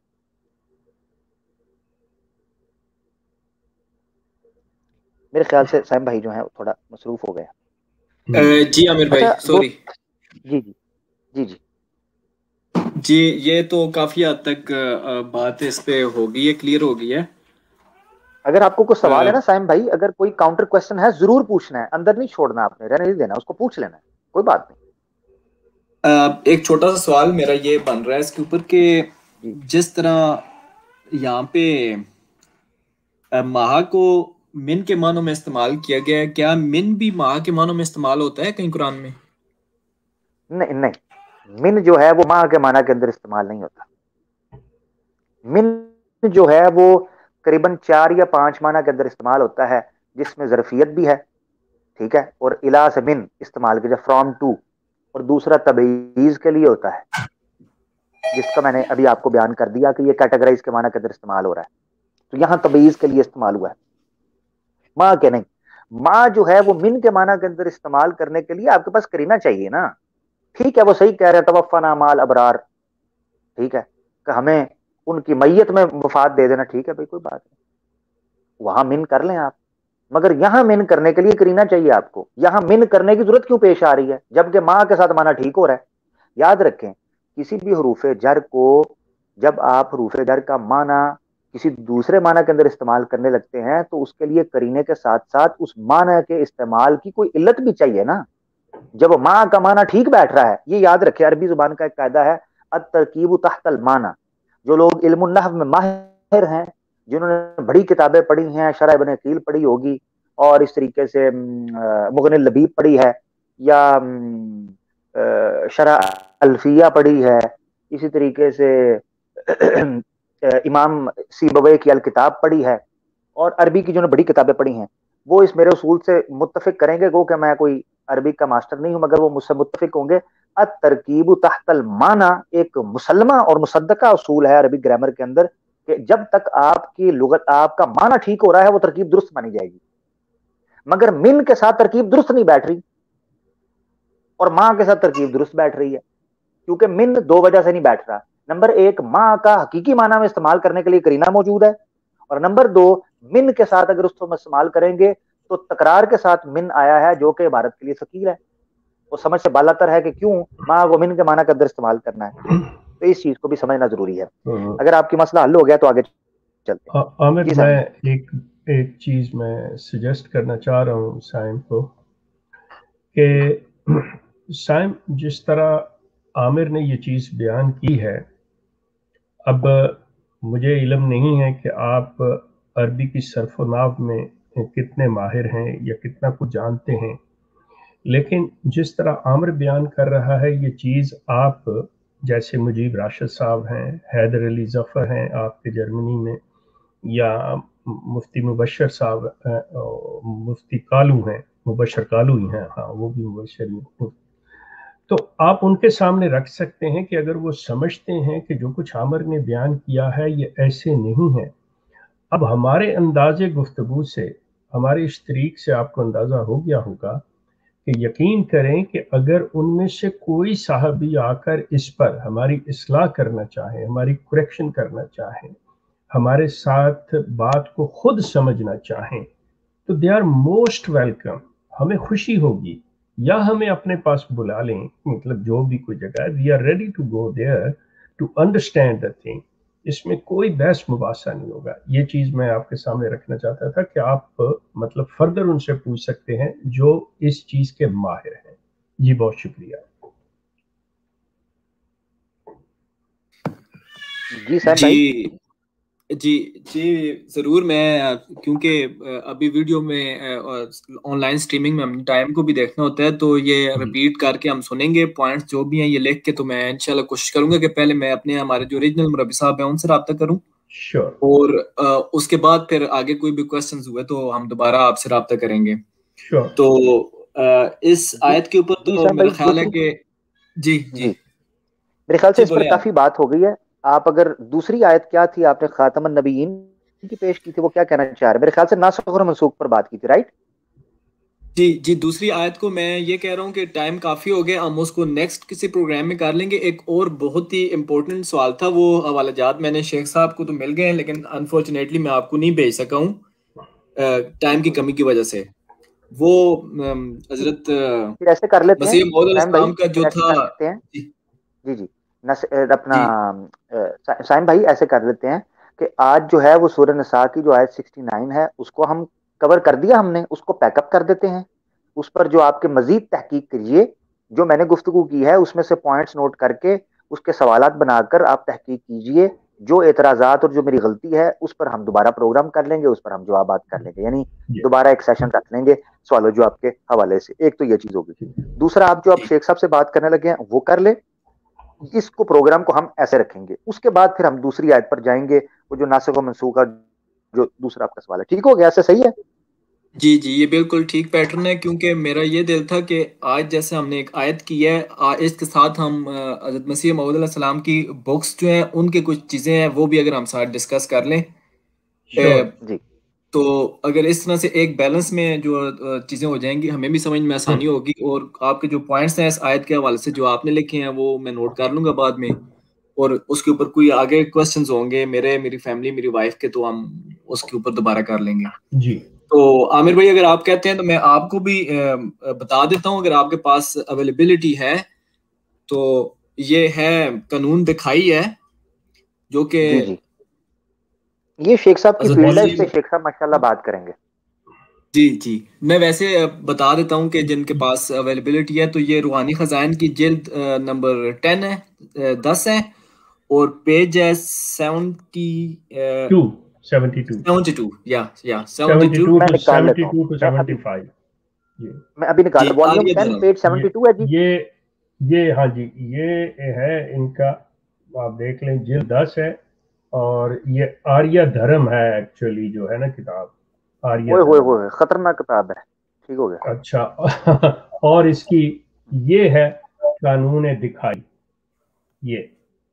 जी जी एग्जैक्ट हो गया। अच्छा। एग्जैक्ट ये एक्चुअली साइम कानून दिखाई जो है ना इस दी आप यूँ कह लें कि लॉ ऑफ़ प्रोसिक्यूशन ये प्रोसिक्यूशन का कानून अंग्रेज़ का ये सिलसिला कि उसने अगर हम्म, मुझे नहीं इलम के आपके इलम में है या नहीं है लेकिन पाकिस्तान के वो लोग जिनकी उम्रें इस वक्त पचास साठ के करीब हैं या जिनको सिक्सटीज़ का दौर याद है। तो उन्होंने देखा होगा कि पाकिस्तान के हर इलाके के अंदर एक इलाका होता था जिसे रेड लाइट एरिया कहते थे। या हम्म। मतलब ज़ुबान आम में हीरा मंडी कहा जाता था। लाहौर किले के साथ ही मतलब ये बड़ा मशहूर रंग महल का इलाका वहाँ पे। इसी तरह ये मतलब बाकी पाकिस्तान के शहरों के अंदर भी ये चीज़ थी। और वो बाकायदा तौर पे, जी, यही कानून लिखा है अब बाकायदा तौर पे मतलब ये ब्रिटिश लॉ जो है, ये था कि जहाँ पे भी हो तो इनको मतलब वहाँ रखा जाए। अब उस दौर में, जिस दौर में मिर्ज़ा साहब के दौर की बात है तो वहाँ पे ये सिलसिला होता था कि उनको बाकायदा तौर पे ये सर्टिफिकेट लेना पड़ता था। कि जो औरत अपना जिसम बेचेगी उसको कोई बीमारी नहीं है ताकि वो दूसरे लोगों को बीमारी ना फैला दे। आप बड़ी अच्छी तरह पता नहीं सॉरी आई शुड नॉट से कि आप बड़ी अच्छी तरह से जानते हैं लेकिन मैं जानता हूँ मैं जर्मनी में रहा हूँ कि आपके हमबर्ग के अंदर सेंट पॉली ये बहुत बड़ा इलाका जहाँ पे बाकायदा तौर जहाँ पे बाकायदा तौर पे मतलब openly with the licence of the government वहाँ पे ये चीज़ लेकिन उनके लिए हाँ। लाजिम है कि हर प्रोसिक्यूट के पास डॉक्टर का सर्टिफिकेट होना कि she is a disease free किसी को एड्स और ये वो चीज़ें नहीं होनी जी पूरे वर्ल्ड में मेरा ख्याल है कि जर्मनी हाँ, में सबसे बड़े जो रेड रेड लाइट डिस्ट्रिक्ट्स हैं वो जर्मनी सबसे फ़ेमस है मेरा पूरे वर्ल्ड में। इस चीज़ में और मैं मतलब अब मुझ पे फतवा ना लगे तो मैंने इलाका देखा हुआ है। तो सिलसिला ये है। सब आप वाकई मुनकर हदीस हैं। ठीक हो तो नहीं मैं उस वक्त अहमदी था और हम लोग फूल बेचने और ये वो जाया करते थे। हाँ। चलिए खैर। सिलसिला ये अभी भी अहमदी लोग जाते हैं बार्स वगैरह में ये करते हैं बहरहाल। ये सिलसिला जो है अब यहाँ पे असल जो सवाल उठता है असल सवाल जो उठता है कि मिर्ज़ा साहब ने इस चीज़ को सपोर्ट किया है। जो असल चीज़ है, वो ये है कि मिर्ज़ा साहब ने इस चीज़ को सपोर्ट किया है, बल्कि सजेशंस दी ब्रिटिश गवर्नमेंट को। आप ये पूरा पढ़िएगा। मेरी तमाम अहमदी और मुसलमान अगर इस चीज़ के अंदर इंटरेस्टेड हैं तो फ्रॉम पेज 72 टू 75 बड़े गौर से पढ़ मतलब थोड़ी देर के लिए आप गुस्से की और जो होता है ना, दुश्मनी की और इख्तलाफ की, यानी उसको उतार दीजिए मुसलमान हजरात। और अहमदी हजरात जो हैं, वो अकीदत और तकदस की एनक को उतार दीजिए और नफ्स मजमून को समझने के लिए उसको पढ़िए और जेन में रखिएगा कि इस्लाम की तालीम क्या है। तो फिर आपको बात समझ में आएगी कि नबी जो होता है, या कोई भी क्लेम क्लेमेंट ना भी हो, मैं अगर ये बात कहूँ कि जी, मैं आपको नेकी की तलकीन कर रहा हूँ तो मुझे पता होना चाहिए नेकी क्या चीज़ है। और मैं अगर किसी की बुराई को मेंशन कर रहा हूँ, उसे बता रहा हूँ ये बुरा है तो मुझे लाजमी उससे मुखालफत का सामना करना पड़ेगा। काफ़ी मतलब रेजिस्टेंस आएगी आगे से और मुझे गलत भी कहा जाएगा। मिर्ज़ा साहब ये क्लेम रखते हुए कि मैं इसलाह के लिए आया हूँ। मिर्ज़ा साहब ये क्लेम रखते हुए कि मैं बुराई दूर करने के लिए आया हूँ। मिर्ज़ा साहब उनको सजेस्ट कर रहे हैं कि आप कैसे काम ये करें। जबकि उन्हें यह कहना चाहिए कि यह सिलसिला ही गलत है बुनियादी तौर के ऊपर। यह चीज़ नहीं होनी चाहिए। मिसाल इसकी ले लें कि शराब है। कुरान इस चीज़ को कहता है, हालाँकि उस चीज़ को तस्लीम करता है कि इसमें मनफत भी है और नुकसान, मनफत बहुत कम है। लेकिन उसने कहा कि यह हराम करार दी गई। अब कोई इससे जवाब निकालना चाहे कि इस मनफत के हवाले से, जी ठीक है, हमें इतनी सी पी लेनी चाहिए, इतनी कर लेनी चाहिए। अब दूसरी तरफ़ वो चीज़ों को ले जाए तो वो खुद ले जा सकता है। लेकिन एक चीज़ उसने end of the moral of the story end पे उसने ये बात कर दी, सारा कुछ दे के कि ये तुम्हारे लिए हम हलाल करार नहीं दे रहे। मिर्ज़ा साहब उनको सजेस्ट कर रहे हैं कि जनाब आप ऐसे करें कि बजाय हिंदुस्तानी जो प्रोसिक्यूट औरतें हैं, उनके पास आपका गोरा कोई चला जाए और कोई बीमारी ले आए, आप ऐसे करें, आप इंग्लैंड से आप अपनी प्रोसिक्यूट गोरियाँ जो है वो इंपोर्ट करें। ई सजेस्टिंग दैट बजाय उनको ये कहने के कि आप क्रिश्चियनिटी पे अगर जीसस को खुदा बना का, खुदा का बेटा बनाए हुए हैं तो ये ठीक नहीं है। तो क्या मिर्ज़ा साहब को ये नहीं कहना चाहिए था कि बात सुनो, ये जिसम फरोशी ठीक नहीं है। आप क्यों उन औरतों को मंगवा रहे हैं? क्यों नहीं उन सिपाहियों को उनकी बीवियाँ मंगवा के देते? वहाँ पे ये चीज़ सजेस्ट करते सिलसिला ये कानून दिखाई को सपोर्ट करना। अच्छा अब उसमें सवाल ये उठ सकता है कि क्यों? मिर्ज़ा साहब फैमिली की हिस्ट्री है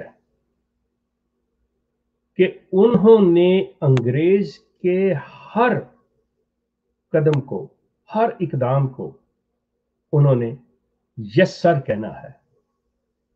मिसाल के तौर पे जंग आज़ादी को यह गदर कहते हैं, उसके अंदर मुसलमानों के खिलाफ अंग्रेज़ की मदद करते हुए बाकायदा तौर पे मुसलमानों को कुचलने के लिए ये हर किस्म की, चाहे वो मैनुअल पावर देनी पड़े कि अपने लोग दिए, चाहे उनको माली तौर पे करना पड़े कि जी पचास घोड़े दिए, उनका हर लिहाज से ये किया। ये चीज़ नहीं देखा कि क्या है और किस तरह से इस चीज़ को चाहिए।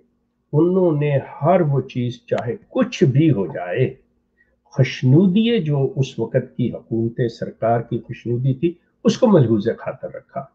वरना मिर्ज़ा साहब कहते असूली तौर पे कि मैं इस्लाम का सिपाही हूँ, मैं जहाँ पे ये चीज़ कहने आया हूँ कि ईसा जो है, जीसस जो है, वो खुदा का बेटा नहीं है।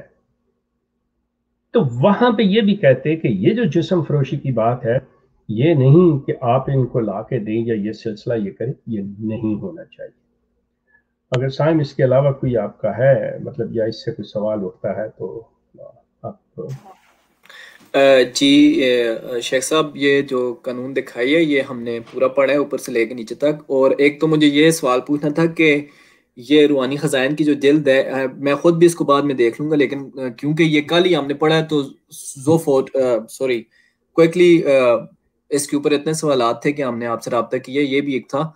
तो क्या हम्म। आपको पता है कि ये जो बुक थी ये कब पब्लिश की गई कौन से ईयर में? और क्या बाद में मिर्ज़ा साहब की किसी बुक्स में उन्होंने इस चीज़ को डिनाई किया है बाद में या इसको गलत कहा है या इसका नहीं आ, इसको बाद में कहीं पे भी इस चीज़ के बारे में नहीं अलबत्ता अलबत्ता जमात के जो आप कह लें कि कुछ आ, जो दावत देने वाले लोग हैं मतलब दाई दाई अल्लाह जो कहलाते हैं उन्होंने इस चीज़ को मतलब जस्टिफाई करने की कोशिश की है लेकिन मिर्ज़ा साहब ने अपने तौर पे इस चीज़ के बारे में कहीं पे भी ये चीज़ नहीं कही हुई।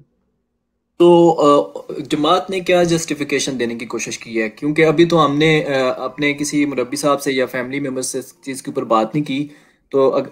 जी। वो यही उन्होंने मतलब जिन एक दो से बात हुई हुई है कि वो ये फरमा रहे हैं कि सिलसिला ये है कि देखें मिर्ज़ा साहब ने बजाय इसके कि वो बीमारियाँ फैलते या वो ऐसे होते तो उनको यही कहा कि चूँकि आप अपने इलाके की अपनी औरतों गोरी जो हैं मतलब औरतें यूरोपियन। यूरोपियन प्रोस्टिट्यूट्स जो हैं उनसे वाकिफ हैं जानते हैं सारा कुछ तो उनसे वो चीज़ नहीं मिलेगी। यहाँ पे जो हमारे सिपाही होते हैं या फलां चीज़ जो है, कि वो ज़्यादा गोश्त खोर हैं और ये, वो, कि तो मतलब वो आपस में उनका इम्यून सिस्टम जो है वो ऐसा हो चुका होता कि ना लगे, लेकिन ये बड़े सेंसिटिव तो इनके लिए इस तरह से उनकी बेहतरी के लिए। But my point is this one कि ये इनको भी जो मैंने बात की है, कि आपने ये चीज़ नहीं देखनी। आपने ये देखना है कि मैं किस लिए आया हूँ हम किस लिए खड़े हुए हैं। आपने वो काम करना है। ऑब्वियसली आप आसानी से नहीं कर सकते ये चीज़। तो वो जो जस्टिफिकेशन देते हैं दैट डजेंट मेक सेंस बाकी आप पूछेंगे तो मैं आई बी थैंकफुल कि अगर आप मुझे बताएँगे कि शायद कोई नई बात अब आपको जी मैं उसके बारे में पूछूँगा क्योंकि ये अब दूसरा एक पॉइंट बहुत बड़ा रेज हुआ है। इससे पहले वैसे मैं एक जो बात बीच में करना चाह रहा था कि जो। उनका इबादत के बारे में जो हज़रत मसीह सलाम ने लिखा हुआ है उसके ऊपर मेरी अपने जो हमारे यहाँ पे जर्मनी में हॉटलाइन के ऊपर मेरी चालीस मिनट बात हुई है। मुरबी साहब से सीनियर मुरबी साहब हैं। तो अभी तकरीबन इस बात को हुए भी चार पाँच दिन हो गए हैं और उन्होंने मुझे कहा था कि ऐसी बातें जो है पहले भी यूज़ की गई हैं हदीस में और इस तरह से। तो मैं उन्होंने कहा था कि आप मुझे हदीसें वगैरह सेंड कर दें। तो मैं अभी तक वेट कर रहा हूँ मैसेजेस भी हम कर रहे हैं लेकिन हमें कोई हदीसें नहीं मिली। तो इसलिए मैंने आपसे पूछ लिया कि इसका काउंटर नैरेटिव क्योंकि आप जमात में रह चुके हैं तो आपको पता होगा। मैं जनरली भी पूछ लूँगा। और तीसरी बात इसके ऊपर यह है कि क्या इस्लाम में इस चीज़ की जो हज़रत मसीह सलाम ने किया है किसी पॉइंट से भी इसका कोई थोड़ा सा भी परमिशन है इस चीज़ का कि वो इसको वक्ती तौर पे जैसे कि कहा जाता है कि पहले इस्लाम में एकदम से कोई चीज़ भी मना नहीं की गई। जिस तरह के पिछले जमानों में लोंडियाँ होती थी या शराब था या तो वो स्टेप वाइज वो चीज़ें बंद की गई हैं। तो क्या उन्होंने वक्ती तौर पे ये एक तरह से मशवरा दिया था या ये किस एंगल से कोई थोड़ी सी जस्टिफिकेशन के वो कोई एग्जांपल है क्या इस्लाम में इसके पीछे इस चीज़ की? जहाँ तक टू बी ऑनेस्ट मेरा ख्याल है आमर इसके बारे में बेहतर बता सकेगा, लेकिन मैं जैसे लेता हूँ। जब आप इस्लाम की बात करते हैं ना तो अब यहाँ पे फिर वही आमिर फौरी तौर पे मेरे ऊपर फतवा देगा कि मैं मुनकर हदीस हूँ कि मेरे नज़दीक, जो इस्लाम है ना, जब आप इस्लाम कहते हैं तो मैं इसको सिर्फ़ कुरान लेता हूँ। ये जो रवायात हैं, मैं इन्हें तारीख कहता हूँ, जिसको मिर्ज़ा साहब भी तारीख कहते रहे हैं। इनका ईमान से कोई ताल्लुक नहीं है। इनका ईमान से कोई ताल्लुक नहीं है। कुरान ने आपको अगर याद हो, जिसको मुसलमान गलत यूज़ कर रहा है, मेरी नज़र में गलत इस्तेमाल कर रहा है, कुरान कहता है कि तुम दो दो, तीन तीन, चार चार से शादी कर सकते हो। अब आप इसको, जैसे मिर्ज़ा साहब का और जमात का काम है चीज़ों को मतलब अलेबोरेट करना, मुंतबिक करना दूसरी जगहों पे, इसको भी कर सकते हैं। कि अगर आपकी हवस एक बीवी से नहीं पूरी हो रही तो आप दो दो, तीन तीन, चार चार बीवियाँ कर रहे मतलब अगर आप सोच, आपके खलीफा सानी ने कितनी शादियाँ की हुई हैं? मतलब उनके बच्चों ला तादाद हैं। तो वो कोई मतलब इसलिए नहीं कर रहे थे कि वो हुक्म इलाही पूरा कर रहे थे, बल्कि उनकी जिस्मानी ज़रूरत थी, वो शख्स की, उन्होंने की। अब इसके लिए अगर कोई उठा के इल्जामी तौर पे अहादीस को ले आए, जी, रसूल करीम की इतनी बीवियाँ थी तो वो ला सकता है।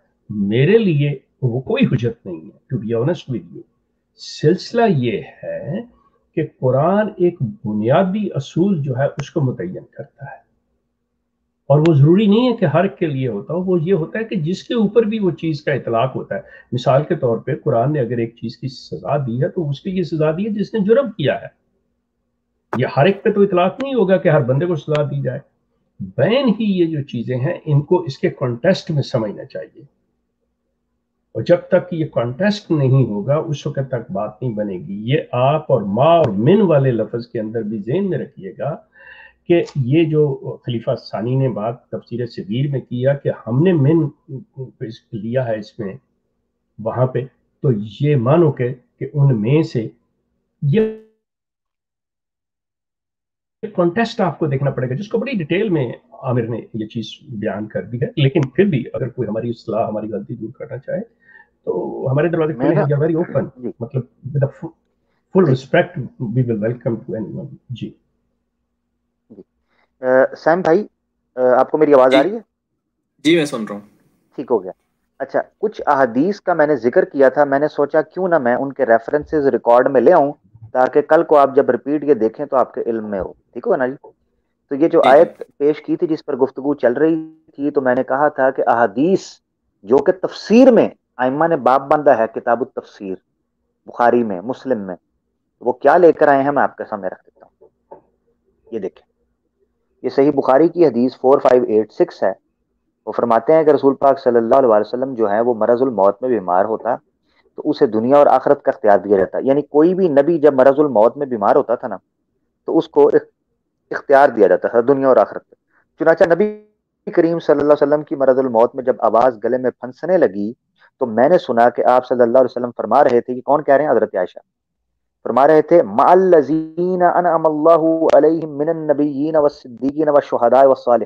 वही आयत। अब मुतकलम या जिस पर कलाम नाजिल हुआ है, उससे बेहतर कोई आयत को समझ सकता है ये किस वक्त की है? इन लोगों के साथ उस पर वो कहते हैं, ये तर्जमा पड़ा इसलिए मैं समझ गई कि आपको भी इख्तियार दिया गया है और आप सल्लल्लाहु अलैहि वसल्लम ने अल्लाह बिर्रफ़ीक आला कहकर आखरत को पसंद फरमाया। यानी ये इख्तियार दुनिया में नहीं, आखरत के लिए था। दूसरी हदीस। सही मुस्लिम की six two nine five same Hazrat Aisha फरमाती हैं। मैंने सुना करती थी कि कोई नबी फौत नहीं होता, यहाँ तक कि उसको दुनिया आखरत के दरमियान इख्तियार दिया जाता है। कहा तो मैंने नबी पाक वसल्लम को मरदुल मौत में यह फरमाते हुए सुना, इस वक्त आपकी आवाज़ बारी हो गई थी। आप फरमा रहे थे उन लोगों के साथ जिन पर अल्लाह ताला ने नाम फरमाया, यानी अम्बिया सिद्दीकीन शहदार सालिहीन के साथ। और यही बेहतरीन रफीक हैं। कहा तो मैंने समझ लिया कि इस वक्त आपको इख्तियार दे दिया गया है के वक्त। ये बड़ी क्रिस्टल क्लियर चीज़ है कि ये जो आयत थी जिसके ऊपर सारी की सारी बेस खड़ी है, उसका इब्तदा और इंतहा बता रहे हैं ये सिर्फ़ और सिर्फ़ आखरत में एक रफाकत है मैयत है और एक फजीलत है। मिसाल के तौर पर आप किसी चीफ जस्टिस के पड़ोस में होते हैं। आप किसी जर्नल के पड़ोस में होते हैं। दुनिया की बात कर रहा ना कि ये थर्ड क्लास किस्म के लोग हैं। ठीक है ना? रत्ती बराबर इनकी कोई हैसियत नहीं है आकाए दो जहाँ सल्लल्लाहु अलैहि वसल्लम के सामने। मगर समझाने के लिए कह रहा हूँ कि लोग चौड़े होते हैं। आजकल किसी का कोई सहाफी दोस्त हो जाए ना जी तो वो फूले नहीं समाता। ठीक है? किसी का कोई M N M P A दोस्त हो जाए, वो फूले नहीं समाता। तो ये बेसिकली उस किस्से को बयान किया गया है। अगर कोई बजिद रहेगा सैम भाई, अगर कोई मुरबी हमारा ये बात सुनने के बाद अगर कोई जिद रहेगा तो हम उसको यह हदीस पेश करेंगे और कहेंगे, देखो फिर इनमें से भी नबी बन सकते हैं। ये तिरमजी की हदीस है, वन टू ज़ीरो नाइन। ठीक है जी? अबू सईद अल खुदरी कहते हैं, नबी पाक सल्लल्लाहु अलैहि वसल्लम से काला कहते हैं अताजर सदूक ईमानदार ट्रेडर। अल अमीनू जो ईमानतदार हो, सच्चा हो। मान नबीन वो भी नबियों के साथ होगा। वह सिद्दीकीन सच्चों के साथ होगा। वह शहदाई शहदा के साथ होगा। अब मुझे बताएँ, ताजर जो है, सच्चा, खरा ट्रेडर वो भी नबियों के साथ होगा सिद्दीकीन और शहदा के साथ होगा ये तिरमदी की है। क्या नबी बन जाएगा? वो क्या नबी बन जाएगा? नहीं। आपकी बात सॉरी मैं आपको काट रहा हूँ। बहुत डिटेल में आपने इसके ऊपर बात की है। ये ये एक जन्नत का माहौल इस आयत में बयान किया जा रहा है। इसका मतलब ये है कि ये भी एक बहुत बड़ी बात होती है कि अगर इंसान नबियों के साथ जन्नत में हो या शहदा या सालहीन या अच्छे लोगों के साथ नेक लोगों के साथ तो ये भी एक रुतबे की बात है ये बात वाकई लॉजिकल है। सैम भाई मैं आपको मिसाल मैं आपको बताता हूँ ना देखें आप अपनी फैमिली के अंदर बड़ी अच्छी तरीके से आप समझ गए जो मैं समझाना चाह रहा था मैं यही मिसालों के ज़रिए समझाना चाह रहा था। देखें जी अपने अपने शौक की बात है। मिर्ज़ा मसरूर हुजूर हजूर मिर्ज़ा मसरूर साहब के साथ जिनकी फ़ोटो होती है कभी उनकी खुशी देखी है आपने? कभी हजूर पर नूर जिनके हमारे जमात अहमदिया के दोस्तों के खतूत के जो जवाब देते हैं जिन खातन के उनकी उनकी दीदनी होती है खुशी। हाँ जी? ये अभी आपके खलीफा हैं साइम भाई। अभी आपके खलीफा हैं। ये चाया कि आका दो जहाँ सल्लल्लाहु अलैहि वसल्लम के साथ सोहबत और नस्बत हो जाए। ये बहुत बड़ी बात है ये समझने की बात है। अब कोई बंदा ये कहे मिसाल के तौर पर साइम भाई ये ऐसे ही है कि इसराइलियों को फलस्तीनियों ने खुले हाथों के साथ जगह दी अपनी जगह पर वो घर के मालिक बन बैठे। अब मिर्ज़ा साहब ज़्यादा से ज़्यादा ये कहते कि यार मैंने बड़ी अतात की है तो मुझे अल्लाह के नबी का कुर्ब ना हासिल होगा। मिर्ज़ा साहब मादरत के साथ वो कहना शुरू हो गया मैं मैं मैं मोहम्मदी हूँ मुझे भी नबूत मिल गई है। ये तो ऐसे ही हुआ जैसे इसराइलियों ने फलस्तीनियों के साथ किया है। ये समझने की बात है ऐसे नहीं होता भाई मामला आ, एक और छोटा सा सवाल मेरे दिमाग में आ गया कि क्या हज़रत मसीह मौद इस्लाम ने इस... एक साहिब एक मिनट नबूवत ही नहीं मिली बल्कि खुद से मोहम्मद बन बैठे हैं। जी जी, जी ये ये बात आपकी बिल्कुल ठीक है और ये बात खैर हम अभी आहिस्ता आहिस्ता साथ साथ पढ़ रहे हैं तो उस चीज़ पे अभी हम नहीं पहुँचे हैं लेकिन आ, मैं ये कहना चाह रहा था कि एक सवाल आ, मेरे दिमाग में अभी आया था सॉरी जस्ट अ मिनट कि क्या आ, उन्होंने खुद इस आयत को अपने लिए दलील बनाया है? वाह ये तो शेख साहब कहते हैं। जी शेख साहब ने पूरी बुक्स पढ़ी हुई है हमने अभी तक बुक्स कंप्लीट नहीं की है तो मैं जस्ट फॉर इन्फॉर्मेशन मैं पूछना चाह रहा था कि क्या उन्होंने इस आयत के ऊपर बेस बनाई है अपनी? या उन्होंने कहा है कि ये आयत में ये वाजे किया जाए? जी सॉरी साइम भाई साइम भाई मेरे प्यारे भाई शेख साहब ने जिस वक्त मैं प्रोग्राम कर रहा था उसमें भी ये कहा था कि आमिर तुम ऐसे ही टेढ़े हो गए हो पढ़ पढ़ कर। वो चोर नालो पंड काली है? यानी खाजे से ज़्यादा खाजे के शाह के वफादार। वो मिर्ज़ा गालिब कहता है, है? वो तो मिर्ज़ा साहब ने अपनी तेईस किताबों वॉल्यूम्स के अंदर मोर देन सेवेंटी बुक्स के अंदर शेख साहब किसी एक जगह पर भी इस्तेदलाल किया है शायद से? इन, जिस आयत को मिर्ज़ा साहब ने कोट नहीं किया ना वो आयत एक्चुअली सुरा अलाराफ की है जो आजकल मुरब्बियान अच्छा ठीक ठीक। ओ सॉरी हाँ जी यस सूरा वो जी वो यातियन्नकुम मिन्नी मिन्नी रसूलन सॉरी बिल्कुल ठीक है। वो है। हाँ। मैं भी वो बड़ी मज़े की बात है। ओके ये साइम बड़ी मज़े की बात है कि सुरा अल की वो जो है ना तो मैंने ये जो कनाडा के थर्टी फाइव है कल। जी जो है ना अंसर रजा साहब तो मैंने इनसे कहा था मैंने कहा मेरी बात सुनो बरखुरदार बात ये है कि मुद्दई सुस्त गवाह चुस्त वाली बात है। सबसे पहले तो मुझे ये समझाओ कि मिर्ज़ा साहब ने इस आयत को जो कि क्लेमेंट है, जिसको तुम बड़े ऐसे कर रहे हो, क्यों इसको अपने हक में पेश नहीं किया? तो उनका जवाब, खैर, मेरे लिहाज से तो इतना भी नहीं कि मैं उसे किसी तौर पे भी ले सक, कि अच्छा जी, उन्होंने नहीं की तो उनके एक मानने वाले, उनके गुलाम ने कर दिया तो ये कम है। तो बंदा खुदा, फिर वही बात आती है। मिर्ज़ा साहब समझते थे, मिर्ज़ा साहब जानते थे कि इस आयत के अंदर क्या अल्लाह ताला फरमा रहा है? किससे मुखातिब है? बनी आदम से। हम्म। और मिर्ज़ा साहब जैसा मैंने आपको पहले शुरू में ये चीज़ जब हम्म, थोड़ी सी आमिर थोड़ी देर के लिए अपने नहीं थे तो उसी मैंने कहा मिर्ज़ा साहब ने कहा है कि सिर्फ़ मैं ही मखसूस किया गया हूँ कोई दूसरा तो आ ही नहीं सकता। जिसमें नबूत खसूसी की बात हो रही है। सॉरी uh, शेख साहब मैं आपको काट रहा हूँ। क्या आपके पास इस चीज़ का हवाला होगा? अगर आप बाद में भी सेंड कर दें जहाँ पे उन्होंने ये कहा है क्योंकि मेरी जब बात हो रही थी रबी साहब से तो वो कहते हैं कि नबी तो जब तक बनीनो इंसान है नबी तो आते रहेंगे। और लेकिन उसके लिए ज़रूरी ये है कि नबी जो है वो अब हज़रत मसीह मऊदलाम की जुरियत से आएँगे। जो जो जो जो उनको इमाम मेहदी उनको मानते हैं उनकी आगे उससे आगे नबी आते रहेंगे।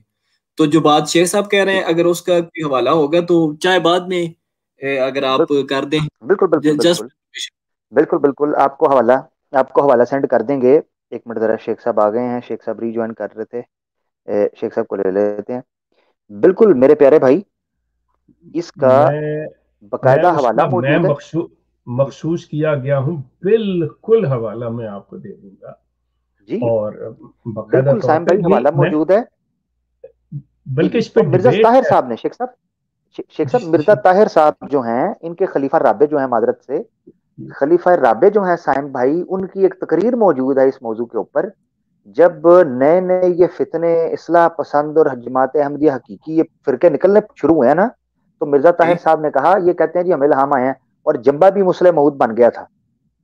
जम्बा भी ठीक है ना और ये दावे करना शुरू कर वो उन ये मिर्ज़ा ताहिर साहब की तकरीर मुझे याद है कि मिर्ज़ा ताहिर साहब की तकरीर मौजूद है जिसमें वो कहते हैं कि अब कोई भी अगर नबी होने का दावा करेगा हम उसे कहेंगे कि शरी कुरान और सुन्ना में अपनी आमद की पेश कोई दिखाओ। एक के आने की खबर थी सो वो आ चुका और हमने मान लिया। अब कोई आएगा तो अपनी पेश कोई दिखाए। क्योंकि तो पेश कोई तो नहीं है तो, इसलिए कोई नहीं आ सकता। ये तो फिर बात यही हुई कि अगर किसी एक ने आना था तो फिर तो ये सारी आयतें जिनसे नबूवत जारी हो रही है फिर इनको तो जारी करने का फ़ायदा कुछ नहीं thank you thank you so much यही चीज़ मैंने well कहा कि जो मैं असल में बात कह रहा था ना सूरह अल आराफ के बारे में कि जब अंसर को मैंने ये कहा कि मसला ये है कि मिर्ज़ा साहब को जो आप कह रहे हो ना कि उनके गुलाम ने कह दिया नहीं वो वो शख्स इतना भी को बेवकूफ़ नहीं था। वो शख्स स्मार्ट था, उसे पता था कि ये चीज़ जो है, ये मेरे हक में नहीं जाती। ये अमूमी चीज़ है। इसमें अल्लाह ताला बनी आदम से मुखातिब है। और ये जो बात कर रहे हैं कि इन्हीं में से आएँगे, ये इनके इस्तदलाल हैं। आप अंदाज़ा करें कि अब ये कहना कि अब जो भी आएगा, वो मिर्ज़ा साहब की उम्मत में से ही आएगा। और ये वो, और इसीलिए वो जो आयत आप दे रहे हैं, सूरह निसा की कि जो इस रसूल की अतात करेगा उसको नबूत मिलेगी। ये सारी चीज़ें एक बाकायदा प्लानिंग के तहत हैं। वरना कुरान की ऐसी कोई बात नहीं है। दिस आई टेल यू अच्छा देखिए शेख साहब ये साइम भाई को जी सॉरी मैं सॉरी हम्म। काट रहा हूँ। जो शेख साहब बयान कर रहे हैं ना साइम भाई ये जो प्लान कह रहे हैं ये बड़ा इंपॉर्टेंट नुकता है साइम भाई मैं आपको बताता हूँ। तवज्जो आपकी भी आपकी फैमिली भी चूँकि सुन रही है तो मैं उनसे भी मुखातिब होना चाहूँगा आपके तवसत से।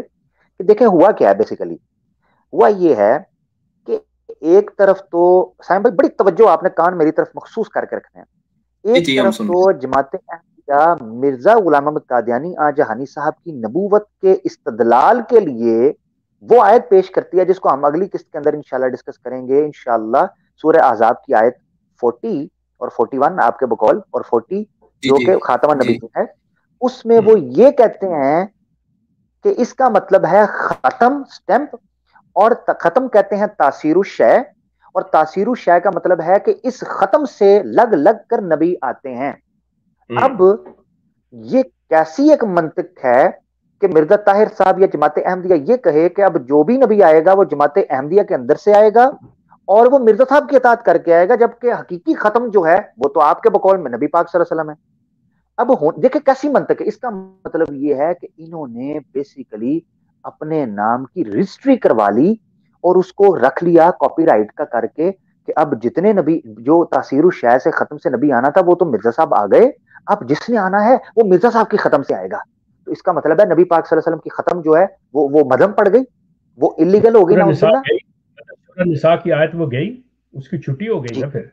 एग्जैक्टली यानी दो कॉन्ट्राडिक्टरी हैं। ये देखें इतना सेल्फ कॉन्ट्राडिक्टरी ये इस्तदलालात हैं और ये आप जो अगला मौजूद रख रहे हैं ना क्या एक आए दूसरी आयत को मनसूख उस पर हम डिस्कस करेंगे। मगर अभी आप ये समझें कि अगर ये लोग ये कहते हैं अच्छा मैं ये जो हवाला है इस हवाले की थोड़ा इशारा आपको दे देता हूँ। इस पर बकायदा हम आपके साथ प्रोग्राम में डिस्कस करेंगे। मैं जब इबारत वो रखूँगा ना तो खुलकर चीज़ सामने आएगी। मिर्ज़ा साहब कहते हैं मुझे इतनी कसरत से इल्हाम और मुखातबा इलाहिया से नवाजा गया है कि सौ सालों में किसी को इतना मुखातबा इलाही और इल्हाम और वही ना हुई। इसलिए इस आजिज का रहती दुनिया तक पहले भी और आने वाले वक्त में भी सिर्फ़ एक को ही नाम नबी दिया गया। यानी वो मैं हूँ, मुझे मुख्त किया गया। ये हवाला है कि मिर्ज़ा साहब ने अपने आप को अकलौता कहा है, ना अपने बाद किसी को आने दिया है, ना अपने से पहले तेरह सदियों के अंदर कहा है कि किसी को ये शर्फ मिला ही नहीं। ठीक हो गया? ये हवाला, मैं आपको, मेरे दिन में हवाला है, मैं दूँगा आपको। मखसूस मैं मखसूस हूँ ये मैं आपको वाला दूँगा इनके लफ्ज दूँगा कि मैं ही मखसूस हूँ। ऐसी कोई बिल्कुल बिल्कुल ये इसी भारत में है। शेख साहब ये पूरा पेज है या, या, हाँ जी। ये पूरा पेज है। इसी पेज के अंदर दो तीन लाइनें हैं जिसमें लिखा हुआ है कि मैं ही मखसूस किया गया तेरह सदियों के अंदर और क्या यस मखसूस किया गया। उसमें पूरी डिटेल है। मैं इंशाल्लाह आपके सामने रखूँगा। जी। अब मकसद मुख्तसर ये है साइम भाई कि एक तरफ़ तो जमात अहमदिया का ऑफिशियल मौकफ ये है ऑफिशियल मौकफ कह रहा हूँ अंदर खाते जब आप बैठते हैं ना कहते हैं मिर्ज़ा आ जहानी साहब के बाद कोई भी नहीं आ रहा। चुप जो आएगा काफर है। कोई भी नहीं कर रहा दावा। ठीक है? मगर ऑफिशियल मौकफ चूँकि डिबेट करनी है गैर अहमदियों मुसलमानों के साथ चूँकि दुनिया में इजरा नबूवत के अकीदे पर अपना एक हवा बनाना है मादरत के साथ साइम भाई तो कहते हैं जी जी नबूवत तो क्यामत तक जारी है। अच्छा जब क्यामत तक जारी है और किसी वक्त भी नबी आ सकता है तो फिर मिर्ज़ा साहब ने जो अपने ऊपर इख्ताम किया है वही का और नबी होने का और अपने आप को महसूस किया है इन इबारतों का अपना साइम भाई क्या करना है? ये तो कॉन्ट्राडिक्टरी है। इनको छुपाते हैं। ये है असल ठीक है? अच्छा वो दलील ले आएँगे। दलील पता क्या ले आएँगे? चलो मैं एक और चीज़ भी बता देता हूँ। इंशाल्लाह फिर प्रोग्राम को हम क्वेश्चन आंसर सेशन के लिए ओपन करते हैं। साइम भाई आप अगर बैठना चाहें तो बैठिएगा। अगर आप जाना चाहें तो जा सकते हैं। कोई ऐसा मसला नहीं मगर एक बात, बात मुझे सिर्फ़ एक बात मुझे सवालात और भी आ, मेरी वाइफ की भी दो चार थे लेकिन चले प्रोग्राम शायद आप लोग लंबा हो गया। नहीं नहीं नहीं नहीं आपके सवाल सवाल ले लेंगे सवाल ले लेंगे लेकिन वहाँ पे जाने से आप बैठे आप सवाल करें। सिर्फ़ एक चीज़ मैं यही कहूँगा कि इसी जो दस नंबर है ना ये थोड़ा सा ये इसके मैं आपको पे आप अपने कागज़ पेंसिल है आपके पास? जी जस्ट अ मिनट जी बोले आप। अच्छा इसके ना सफ़ा नंबर आप 143 या। ठीक है? 143 की जो लास्ट में है वो लाइनें के वो यहाँ से आप पढ़िएगा कि अब हम खोल कर लिखते हैं कि हमारी राय में बाबा नानक साहब ठीक है? इसको पढ़ लीजिएगा। और इससे पहले इससे पहले 142 पे ये कि साफ़ दिल इंसान की कलाम में हारगिज तनाकज नहीं होता। ठीक है जनाब? जी। आपने इसको देखना है। और फिर आप चलिए इसके बाद एक सौ इक्यासी के ऊपर 181 पे। ठीक है जी? नीचे पैर में वो लिखते हैं कि मैंने बाबा साहब को मुसलमान नहीं ठहराया। मतलब बाबा गुरु नानक को मैंने मुसलमान नहीं ठहराया। हम्म। और इसी के 182 में जो मैंने आपको पहले दिया है ना कि वो कहते हैं मैंने नहीं ठहराया 143 पे मतलब जो यहाँ से मैंने कहा कि अब हम खोल कर हमारी राय में बाबा नानक साहब की नस्बत आगे मैंने नहीं पढ़ा था वो ये है कि बिलाशुबा वो सच्चे मुसलमान थे। आप अंदाज़ा करें। अब हम खोल कर लिखते हैं कि हमारी राय बाबा साहब की नस्बत ये है कि वो सच्चे मुसलमान थे। ठीक? और आगे चल के कहते हैं, जी, हमने उनको कोई ऐसी बात मुसलमान नहीं ठहराया। मिर्ज़ा साहब इस तरह की बातें करते हैं। यकीन करें कि आपके लिए साल हा साल चाहिए और आपके जेन में रहना चाहिए कि मिर्ज़ा साहब ने फलां किताब में क्या कहा था। ये आपको मतलब फौरी खुटकनी चाहिए बात के जी ये मैं पीछे कुछ और पढ़ आया हूँ वो क्या है क्या नहीं है हाँ। मिर्ज़ा साहब के दौर में चूँकि नोट्स नहीं बनते थे ये भी बड़ी अजीब सा सिलसिला इस पर भी कभी करें तो मैं आपको बताऊँ कि मिर्ज़ा साहब ने ये जो किताबें लिखी या लिखवाई हैं कैसे लिखवाई हैं मिर्ज़ा साहब के हाँ। अपने इन लिखे हुए के अंदर तनाकज क्यों है और कैसे है और खुद ही मिर्ज़ा साहब करते हैं यकीन कीजिए ये बड़ा तलख सब्जेक्ट है। मैं जब खुद स्टडी कर रहा था तो मेरे लिए बड़ा मुश्किल हो रहा था। और ख़ास तौर पे मैं उस वक्त अपनी बीवी की बहन भाइयों की गालियाँ भी खा रहा था। वो कह रहे थे ये तुम क्या निकाल निकाल के ला रहे हो? ये क्या कर रहे हो? तुम्हें समझ ही नहीं आ रही। वो तुम्हारी रूहानी आँख मर गई है। तुम्हें समझ ही नहीं आ रही। तुम्हें ये हो गया है वो हो गया मतलब उस किस्म की।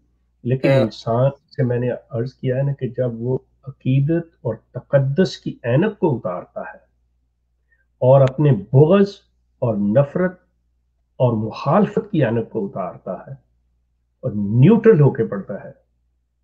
मैं कुरान की उस आयत को कि इसे नेक लोग, जो मुताहर पाक लोग हैं, वो छुएँगे, मैं इसको ये कभी वज़ू करके पकड़ने वालों को नहीं लेता। मैं इसमें ये होता है कि जो प्री कंसीव्ड आइडियाज़ हैं आपके जहनों में, जब आप उसको एलिमिनेट नहीं करते, जब आप उसको वॉश आउट नहीं करते आपको बात समझ नहीं आएगी। बैन ही उसी तरह कि एक तख्ती पे एक सफ़े पे एक स्लेट पे पहले से लिखा हो और उसे साफ़ करके जब आप नहीं लिखेंगे ऊपर कुछ और लिख देंगे तो गुड गुड हो जाता है। आप अंडरस्टैंड नहीं कर पाते सो so, ये माने हर चीज़ के जो है उसके कॉन्टेस्ट में हम्म। देखने चाहिए कि क्या है क्या नहीं।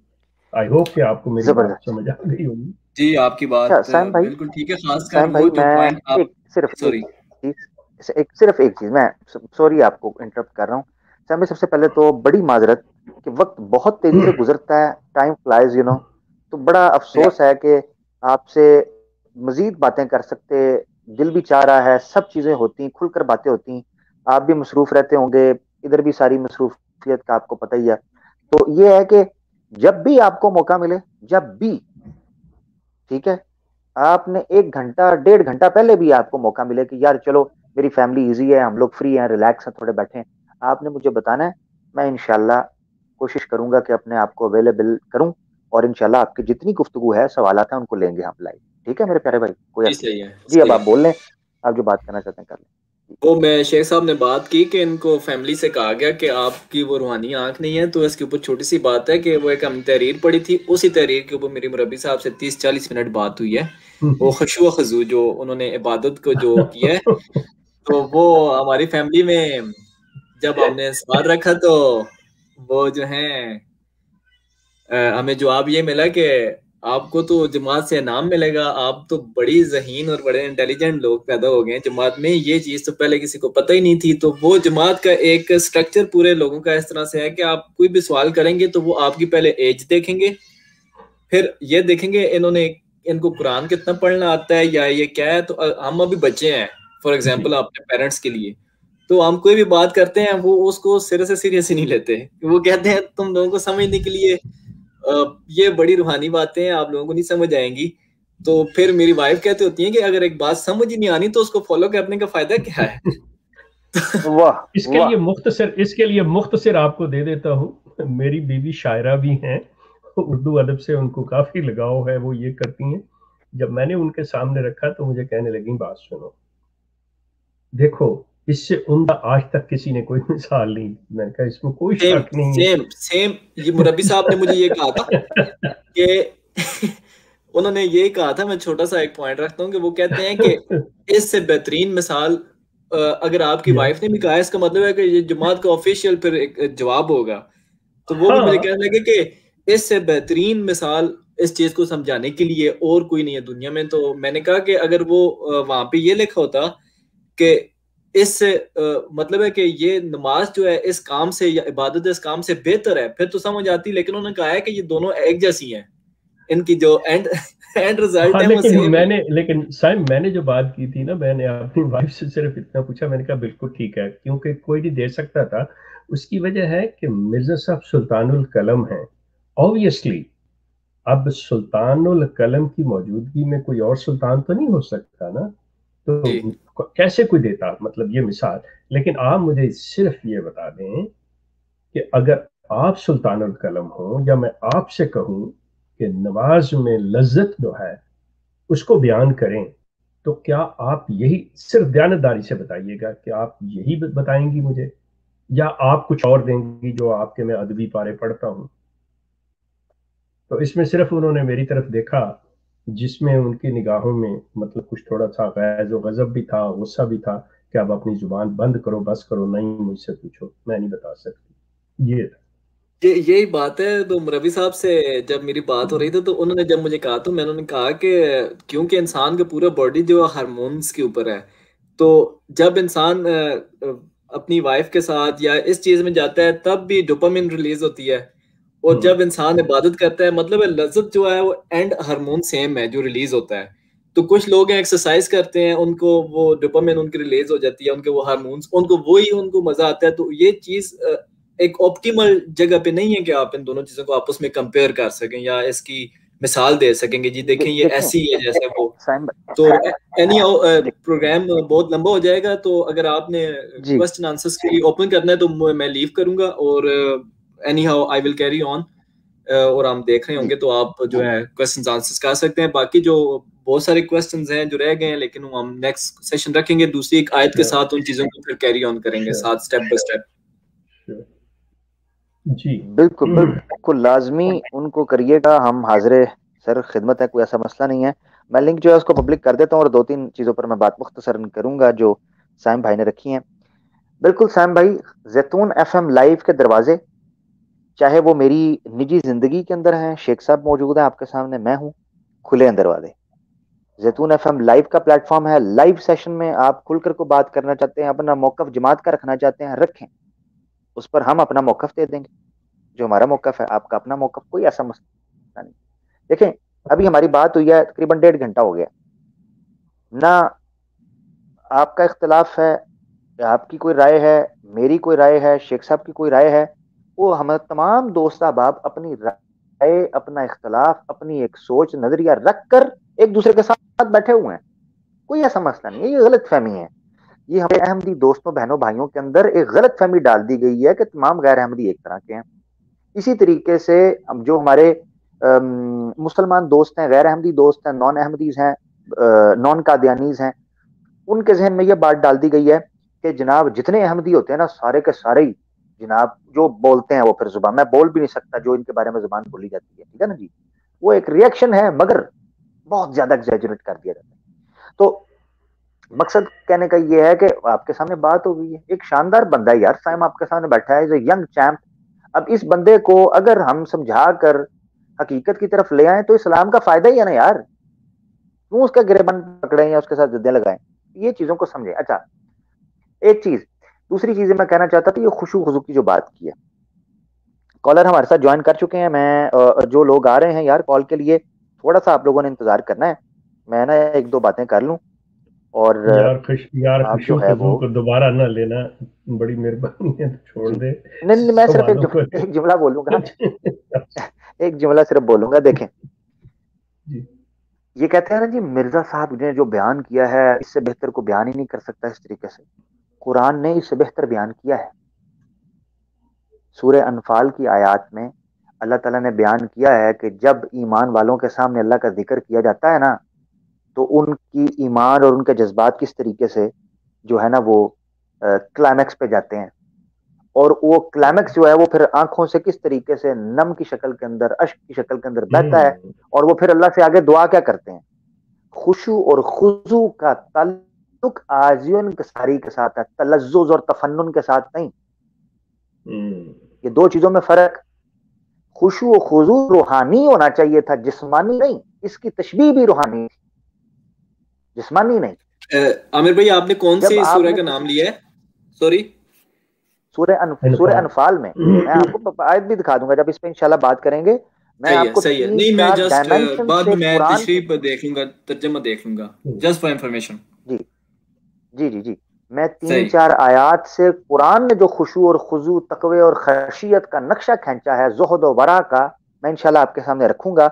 आपको पता चलेगा कि कुरान ने खुशू और खुजू का नक्शा क्या खींचा है और वो इंसान की रूहानी मिराज की अक्सी करता है।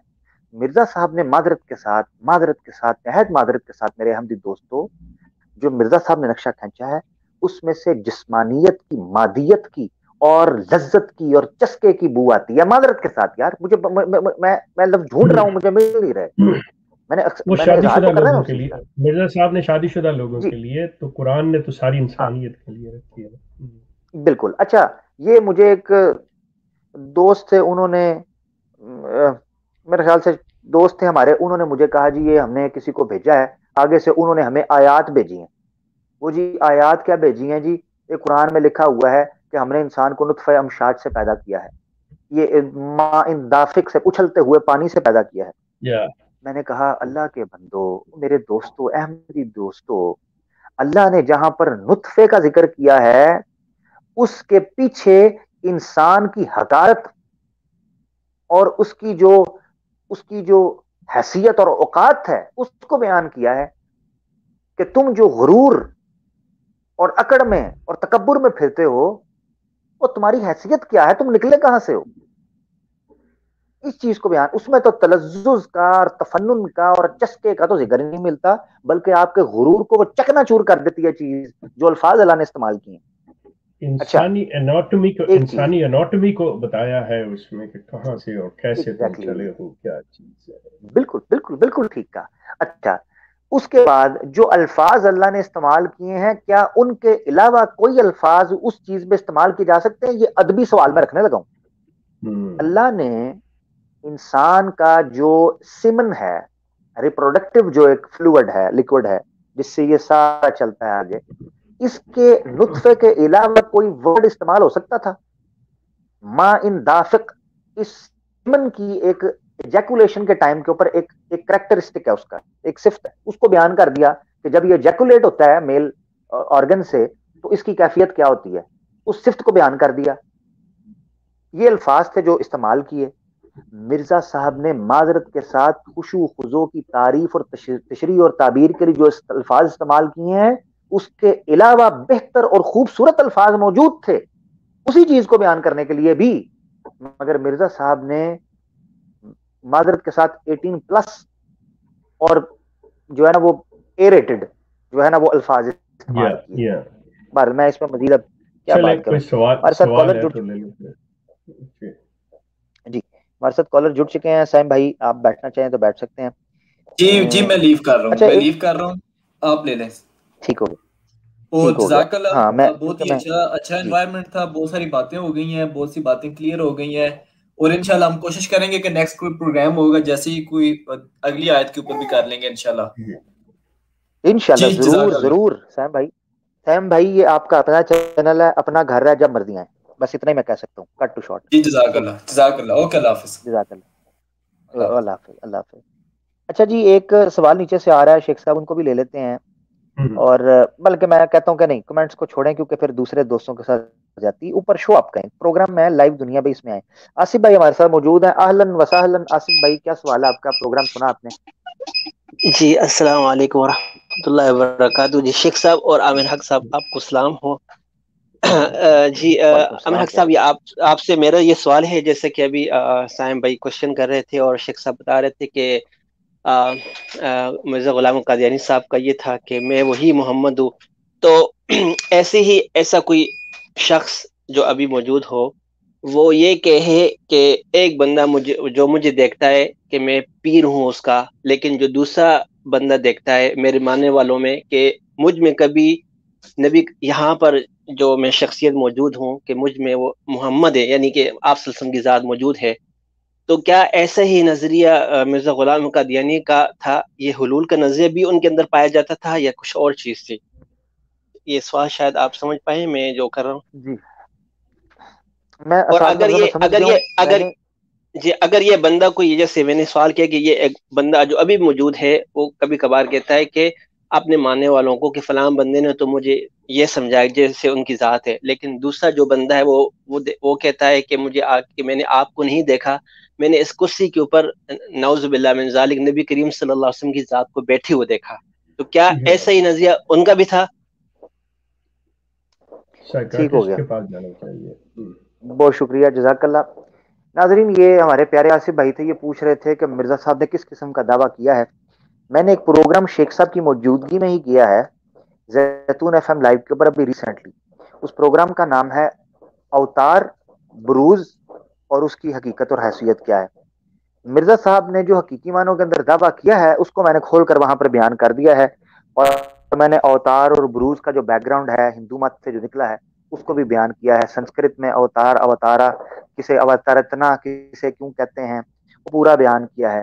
फिर उससे हुलूल किस तरीके से घुसता है बीच में, उसको बयान किया है। जिल और ब्रूज की हकीकत क्या है, उसको भी बयान करने की कोशिश की है। तो वो प्रोग्राम आप ज़रूर देखें, आसिफ भाई टाइम निकाल कर अभी फ़िलहाल के लिए यही है कि मैंने अशार कुछ पेश किए थे, मोहम्मद एन अस्तो, अहमद अस्तो। वो पूरे मैंने अल्फाज दिखाए थे 1931 तक 1915 तक ये अल्फाज इस्तेमाल होते रहे हैं। और उसके बाद कलमत फ़सल के अंदर वो किस तरीके से कहते हैं कि वही आए हैं। नबी पाक सल्लल्लाहु अलैहि वसल्लम के बाद आने के लिए वल आखिरत खैर मिनल ऊला से इस्तदलाल किया जाता है कि नबी पाक सल्लल्लाहु अलैहि वसल्लम की सेकंड कमिंग है। यानी जितने दुनिया के अंदर बड़े बड़े लीडर गुजरे हैं उन सब की सेकंड कमिंग मिर्ज़ा साहब है। यानी मिर्ज़ा साहब फ़र्स्ट क्लास कोई भी नहीं है सेकंड हैंड है। ले जी आगे चलते हैं हमारे ये कॉलर हैं जी इनको ले लेते हैं। ये ये ये हमारे दोस्त काफ़ी अरसे बाद हैं। जी खाकसार साहब माइक अनम्यूट करें।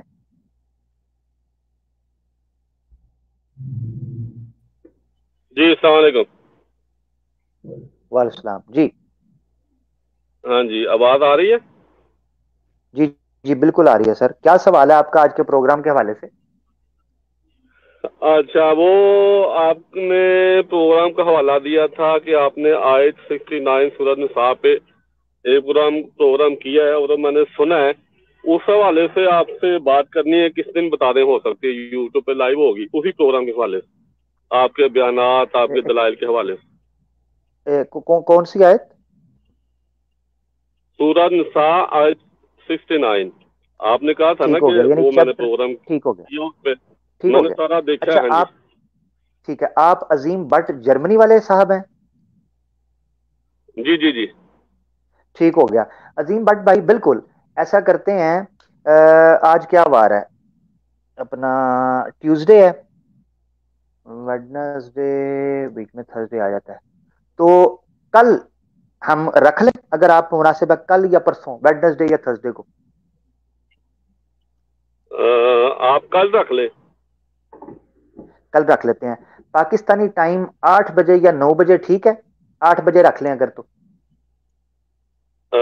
आठ बजे रख लेते हैं ठीक है। यानी कि यहाँ पे हमारे पाँच बजे होंगे ठीक है चार या पाँच ठीक है। ठीक हो गया। तो chapter four verse sixty nine के ऊपर जो कि इजराय नबूवत की जमात अहमदिया की दलील है कल पाकिस्तान टाइम बिफदल्लाही इनशाला बकायद जीस्त अजीम भट्ट जर्मनी हमारे अहमदी दोस्त हैं। इनके साथ एक चिट चैट डिस्कशन हो जाएगी इंशाल्लाह। ठीक है अजीम भाई? हाँ हाँ जी वो मैं वजाहत कर दूँ कि आपका जो प्रोग्राम है ना उस पे जो आपने दलाइल दिए हैं या इतराजात किए हैं उस हवाले से स्टेप बाय स्टेप हम चलेंगे। क्योंकि मैंने सारा प्रोग्राम देखा है और आपके दलाइल आपने जो हवाले दिए वो भी देखे हैं। अहादीस जो आपने पेश की आप- वो भी देखी है। तो उसको पहले। पहली आपकी बात को शुरू ले लेंगे। पहले आपकी दलील कौन सी है? उसको ले लेंगे और उसके फिर हम चलेंगे आखिर तक। यानी यानी आप ये कहना चाह रहे हैं कि फिर चैप्टर ठीक सुने सुने बट साहब यानी आप ये कहना चाह रहे हैं कि जो प्रोग्राम मैंने इन इस आयत पे किया है उस प्रोग्राम पर आप मेरे साथ बात करना चाह रहे हैं ना कि इस आयत पर?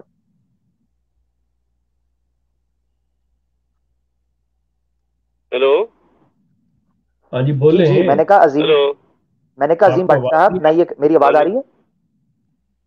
हाँ जी अब आ रही है बात। हाँ जी बताएँ। जी अब आ रही है। ठीक हो गया। बट साहब मैं ये कह रहा हूँ कि आप आयत four chapter four verse sixty nine पर बात नहीं करना चाह रहे। जो मैंने इस आयत पर प्रोग्राम किया है आप उस प्रोग्राम पर बात करना चाह रहे हैं। ठीक समझो मैं? हाँ जी क्योंकि एक ने सवाल किया था आपने कहा था जी वो मैंने प्रोग्राम किया उसको देखें। तो मैंने वो फिर देखा मैंने भी सुना वो।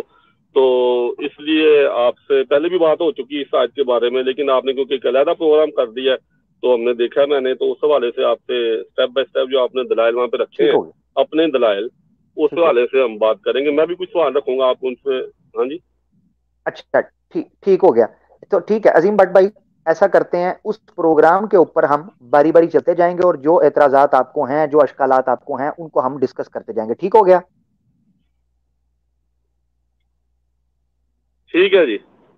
बट ठीक हो गया। अच्छा आमिर एक मुझे ये बता दें शेख शेख साहब एक मिनट मैं वो बस सिर्फ़ कंप्लीट करके सारी बात तो फिर आपके इनशाला कर देते हैं अच्छा। बट साहब ये हो गया कि कल इंशाल्लाह पाकिस्तान टाइम आठ बजे के मुताबिक chapter four verse sixty nine पर जो मेरा प्रोग्राम है उस पर अजीम बट हमारे अहमदी दोस्त जर्मनी से हैं इनके साथ गुफ्तु नाजरीन होगी अभी आपको खबर मिल जाती है। और कल हम इब्तदाई तौर पर जब गुफ्तु करेंगे तो कुछ उसूल और जवाब तय कर लेंगे पाँच से दस मिनट के अंदर, क्योंकि अजीम भट्ट भाई के साथ मेरी पहले भी बात हुई हुई है तो काफ़ी हद तक हमारी अंडरस्टैंडिंग है। तो मुझे ज़्यादा देर नहीं लगेगी भट्ट साहब को अपना मुद्दा समझाने में और भट्ट साहब का मुद्दा मुझे समझने में। तो इंशाल्लाह कल हम इब्तदाई पाँच दस मिनट के अंदर कुछ उसूल और जवाबित तय कर लेंगे, उसके बाद गुफ्तगू करेंगे। ठीक है भट्ट साहब, आप शेख साहब से बात कर सकते हैं। जी शेख साहब। थैंक यू भट्ट साहब ये जो बात आप कल करना चाह रहे हैं ये अपनी ज़ाती हैसियत में करना चाह रहे हैं या जमात के मौक़ को पेश करेंगे?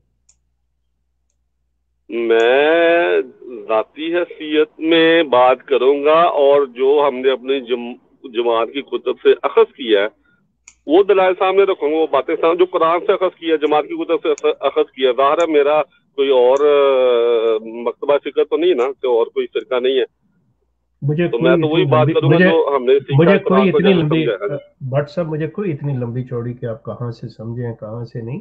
मैंने सिंपल एक बात की है कि जमात का मौकफ या आपका अपना जो भी आप समझें जहाँ से भी समझ सो आप अपनी जाती हैसियत में बात करेंगे वो जमात का मौकफ नहीं होगा। इज़ दिस राइट हाँ जी मुझे जमात की तरफ़ से ना मैंने मैं फिर वही मुझे ओ भाई ओ भाई ओ भाई, ना भाई मेरा अपना होगा मेरा अपना होगा ठीक है अपना हाँ जी। किसी और बहुत शुक्रिया बहुत शुक्रिया। ठीक हो गया। ठीक है भट्ट साहब कल मिलते हैं इंशाल्लाह बिफजल्ला अपना ख्याल रखें। ठीक हो गया भट्ट साहब और कोई सवाल करते हैं कोई बात? या कल ही मिलना है? नहीं नहीं कल उस पर बात होगी फिर आपका जो और प्रोग्राम है उस पर बात हम लेकिन पहले इस पे तो हो जाए कल ठीक है जी? कल पाँच बजे आठ बजे आपके टाइम में तब अभी के लिए और कोई बात तो नहीं है आपके पास? अभी के लिए कोई और बात तो नहीं है? नहीं नहीं ठीक नहीं नहीं अभी के लिए नहीं अभी जो हम नुकता जिससे हम हाँ ठीक है। ओके अल्लाह हाफिज ठीक है बड़ी मेहरबानी। ठीक हो गया जी ठीक हो गया। नादिन आपने सुन लिया कल आप पाकिस्तानी टाइम आठ बजे के मुताबिक जैतून एफ़ लाइव पर ज़रूर हाजिर होइएगा। दंड बैठक लगा के आइए। दिमाग में मालिश मुलिश अम्मी नानी को कहिए कि सरों का तेल और नारियल गिरी का तेल लगा के मालिश करें और सेब का मरबा खा कर आए। क्योंकि आपको पता है जब अजीम भट्ट मुरबी साहब आते हैं तो फिर मिर्ज़ा हुजूर हुजूर की याद ताज़ा हो जाती है। नहीं, जी। बार आमिर मैं बात कर देता हूँ। ठीक है सिंपली मैसेज दे देता हूँ। अज़ीज़ दोस्तों देखिए गुजारिश ये है कि अभी ये जो प्रोग्राम जारी है इसके अंदर आ, कुछ देर पहले एक अहमदी दोस्त थे। उनके सवाल उन्होंने आयत रखी उन्होंने बात की हमारी तरफ़ से बात हुई, उनकी तरफ़ से बात हुई, जिस माहौल में ही आपने देखा वो चीज़ को। अब एक किस्म का अगर मैं चाहूँ तो मैं उसे क्राइटेरिया भी बना सकता हूँ। और बेहतर होगा कि आप उसे क्राइटेरिया बना लें अपने जहन के अंदर कि जब दो शख्स शाइस्ता गुफ्तगु करते हैं, दलील से बात करते हैं तो वो गुफ्तगु कैसी होती है? अब जो कल गुफ्तगु होने जा रही है, ये तो वक्को करते हुए कि चूँकि इन साहब का ताल्लुक भी उसी जमात से है। उसी जिसे अंग्रेज़ी में स्कूल ऑफ़ थॉट कहते हैं फिरका कहते हैं उनसे ही है। है भी जर्मनी तो से है। जी? दोनों जर्मनी से हैं वो भी जर्मनी से थे। दोनों जर्मनी हाँ दोनों जर्मनी, जर्मनी से भी जर्मनी से भी हैं। तो देखते हैं कि इनके अंदाज में इनका तरीकाकार उनसे बेहतर निकलता है उनके बराबर है या उनसे कम है। तो ये आपके लिए एक बड़ी इंटरेस्टिंग होगी कि खुद फैसला करने के लिए कि एक ही देख के जो दो चावल हैं, वो कैसे हैं? तो मतलब आपके लिए फैसला करने में बड़ी आसानी होगी। और आपको हमारा भी इम्तिहान लेने के लिए कि हमारे अंदर सबर का माथा कितना है, हम कितने पानी में ये भी आपको पता चल जाएगा। सो ज़रूर तशरीफ़ लाइएगा कल ये भट्ट साहब की बात सुनने के लिए और हम कहते हैं कि अल्लाह इनको तोफीक दे। कि ये अपना एक मैार मुकर कर सके। जी आमिर माशाल्लाह जी भट्ट साहब का ज़िक्र चला और हमारे जनाब बाबर भट्ट साहब मौजूद है जनाब। अहलन वसाहलन बाबर भट्ट भाई। जनाब। अस्सलाम वालेकुम आमन भाई और शेख साहब दोनों के खिदमत वालेकुम अस्सलाम प्यारे भाई कैसे हैं? ठीक ठाक हैं? खैरियत से हैं सर? जी अल्हम्दुलिल्लाह। अल्लाह का शुक्र आप ठीक हैं? अल्लाह का शुक्र अल्हम्दुलिल्लाह। जी हज़रत क्या कहना चाहते हैं? प्रोग्राम सुना आपने? जी सारा प्रोग्राम नहीं सुना कुछ हिस्सा सुना है। और जो आपके दो मेहमान ग्रामी आए थे अभी एक बट साहब थे और उससे पहले गालबन साइम एवान साहिब थे तो दोनों किसी हद तक एक ही आयत की तरफ़ जा रहे हैं। जब सालेहीन और सिद्दीकीन और जो शहदा हैं ये अगर इनाम दिए जा सकते हैं उम्मत को और दूसरे लोगों को मिल सकते हैं तो नबूवत का जो इनाम है ये क्यों नहीं मिल सकता और ये क्यों जारी और सारी नहीं रह सकता? और गालबन इसी पे वो आपसे कल जो अभी तय पा रहा है आपका प्रोग्राम तो कल वो सवाल जवाब आपसे करेंगे या जो भी डिबेट होगी। तो मेरा सवाल उन तमाम साहबान से ये होगा और आप भी उनसे ये सवाल ज़रूर पूछिएगा कि अगर इस तमाम इस्तदलाल को मान लिया जाए दुरुस्त तो ये इनाम अपने ऊपर उन्होंने खुद क्यों बंद कर दिया है? ओए क्यों बंद कर दिया है? क्या ये तमाम अहमदी अहबाब अपने खलीफा के बैत नहीं हैं? नबी कब खलीफा का बैत होता है? ये इनाम तो अपने ऊपर ये खुद बंद कर चुके हैं। अगर ये इनाम मिला भी तो उनको मिलेगा जो अहमदी नहीं है। हम्म। इन्होंने तो ताले लगा लिए इस इनाम पे। इनको तो मिर्ज़ा मसरूर साहब जूते मारेंगे कि बैत मेरी और नबी बन गई हो। ये ताले ये खुद लगा बैठे हैं। इस इनाम को इन्होंने खुद बंद कर लिया अपने ऊपर। और दूसरी बात जो आपके दूसरे मेहमान थे मोजस साइम साहब खशू खजू की बात हो रही थी तो उनसे भी मेरा ये सवाल होगा और तमाम अमूमी तौर पर तमाम अहमदियों से कि खशू और खजू की जो तहरीर मिर्ज़ा साहब ने लिखी और जो तारीफ़ की जो वजाहत की तो उसमें वो इनकी लजनाएँ जो शादीशुदा नहीं हैं वो किस तरह वो सारा तस्वर अपने जेन में लाएँगी नमाज़ पढ़ने से पहले? और वो लोग जो मुखनस हैं जो जो जो ख्वाजा सरा हैं वो ये सारा तस्वर किस तरह लाएँगे नमाज़ से पहले? और इनकी जो बेटियाँ जो भी शादीशुदा नहीं है। तौर पर। बाबर अच्छा। भाई बरूजी तौर पर। हाँ जिस तरह बाबर साहब पहली पहली चीज़ तो ये है कि ये चीज़ नमाज़ से पहले नहीं नमाज़ के अंदर ये कैफियत पैदा कर रही है। सो मिर्ज़ा साहब ने पहले क्या नहीं कोई शर्त लगाई? नंबर एक। नंबर दो ठीक है आपने कह दिया हो गई बात। अब वो फिर ज़्यादा थोड़ी सी हो जाएगी। मेरा ख्याल इसी पे इतफा कर लें तो बड़ी मेहरबानी आपकी। जी और दूसरी बात यह है कि दूसरी बात यह है कि मेरे पास दस बजने वाले हैं और प्रोग्राम के भी दो घंटे होने वाले हैं बाबर। भट्ट भाई आपका पहल का खेस किस्म का कोई बयान है तो वो आप दाग दें तो उस पर हमें आपसे इख्ताम करवाएँगे। नहीं जी तल का खेज कोई नहीं है। बिल्कुल ये आम से सवाल आता है। और बहुत ही शुक्रिया आपने वक्त दिया आपने लाइव स्ट्रीम में। और आपकी जनाब ये आप आया करें सर आप बाबर भट्ट भाई आप आया करें ज़रूर आया करें। जो हमारे एक्स अहमदीज वोकल हैं मुबलगिन हैं नौ मुस्लिमीन जितने हैं ये हमारा सरमाया है यार। ये हम ये हमारे लिए बहुत ज़रूरी है।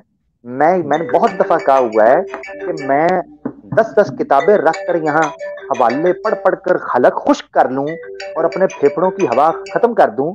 जो आप लोग आकर ये एक दो मिनट की बात करते हो ये सरकार ये तबाही फेर के रख देती है पूरे के पूरे नज़रिए के ऊपर। ये बड़ी शानदार बहुत ही शुक्रिया भाई।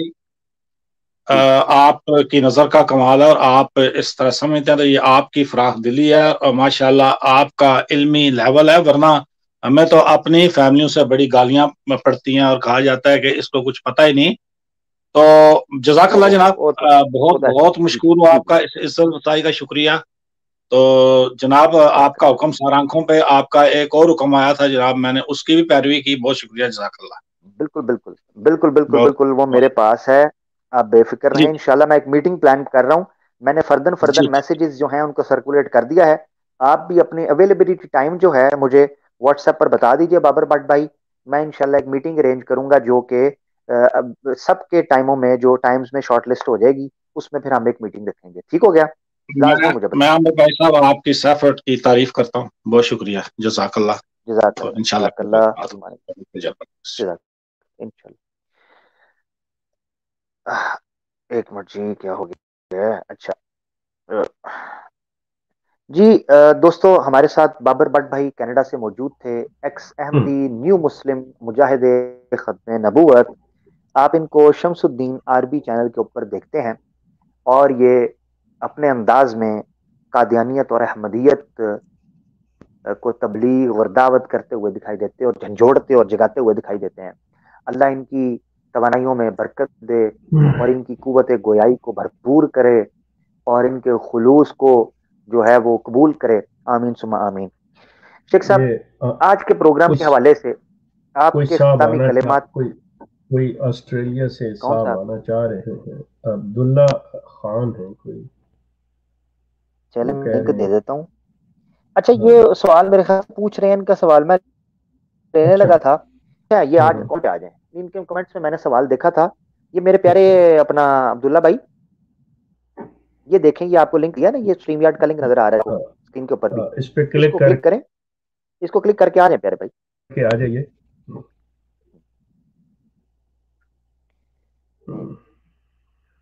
फिर उसके बाद कहते हैं मुझे भी दो घंटे हुए उठना है हम्म। अच्छा जी अच्छा नहीं ये कनेक्ट नहीं हो रहा। मेरे ख्याल से ये आरिस आरिस भाई है कोई आना चाह रहे हैं आरिस। ओके ये कनेक्ट नहीं हो रहा। आरिस भाई आप जब तक परमिशन नहीं देंगे माइक को कैमरे को परमिशन नहीं देंगे परमिशन देगा उसको बंद कर दें कोई मसला नहीं। परमिशन देने के बगैर मैं उसको ले नहीं सकता आपको स्क्रीन पर सर ये स्ट्रीम यार्ड का रूल है। मुझे तो मेरे लिए तो फिर मुश्किल होता है लेना। तो उसको अलाउ कर दें अच्छा, उसके बाद शेख साहब काफ़ी जी। जी। शेख साहब आप अपनी इख्तामी बात करें मेरे ख्याल से वो आना चाहेंगे तो आ जाएँगे। चले ताकि फिर ये है कि मेरे पास तो, काफ़ी लेट हो रहा है। एक मिनट एक मिनट शेख साहब। एक मिनट मैं देखता हूँ ये कौन है यार? आ रहे हैं? नहीं वो हाँ आ गए अब्दुल्ला खान साहब आ गए अब्दुल्ला खान साहब। अब्दुल्ला खान साहब कैमरा ऑफ़ कर दें। आपको ऑप्शन नज़र आ रही है तो मैं आपको स्क्रीन पे लेता हूँ। क्योंकि आप मेरे ख्याल से कैमरे अपने उंगली रखी हुई है। आप उसको बंद कर दें कैमरे को। मैं आपको स्क्रीन पे लेने लगा ठीक है? जी। बाकी कैसे रखें? कैमरा आप साइड पे रख दें। जी अब्दुल्ला भाई वालेकुम सलाम। जी फरमाइए। सर मैं अब्दुल्ला बात कर रहा हूँ ऑस्ट्रेलिया से। मैं यहाँ पे एम का स्टूडेंट हूँ। तो अभी जो है मैं अपनी जॉब पर ही बैठा हूँ। मेरा सवाल ये है कि हम जॉब करते थे एक जॉब पे। तो हमारा एक दोस्त था। तो वो एमडी था, उसका हमें नहीं पता। हमें नहीं पता था। तो हम दो दोस्त थे जो उसके दोस्त थे। तो जब हमें पता चला तो एक दोस्त ने उसके साथ जो है बिल्कुल दोस्ती ख़त्म कर दी, लेकिन मैंने अपनी दोस्ती ख़त्म नहीं की।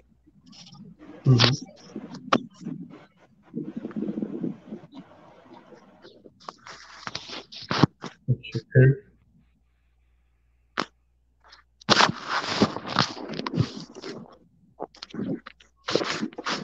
जी भाई। आपकी आवाज़ नहीं अब आ रही। क्या आप क्या कुछ कह रहे हैं या क्या कर रहे हैं?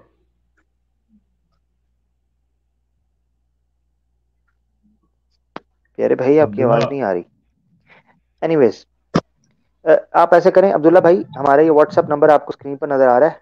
हेलो टाइम जो है ना इस तरह सब पब्लिक का वेस्ट होता है। अगर मैं दो बंदे बैठे हो ना तो मुझे मसला नहीं है। मगर जब प्रोग्राम लाइव होता है ना तो मुझे बीसियों बंदों को देखना पड़ता है। ये आपकी स्क्रीन पर मेरे हमारे नंबर नज़र आ रहे हैं। एक मिनट में रीजॉइन अब्दुल्ला भाई आप इस नंबर पर राब्जा करके। जी। अच्छा फुरकान भाई रीजॉइन करना चाह रहे हैं इनको लेकर फिर हम इख्ताम करते हैं।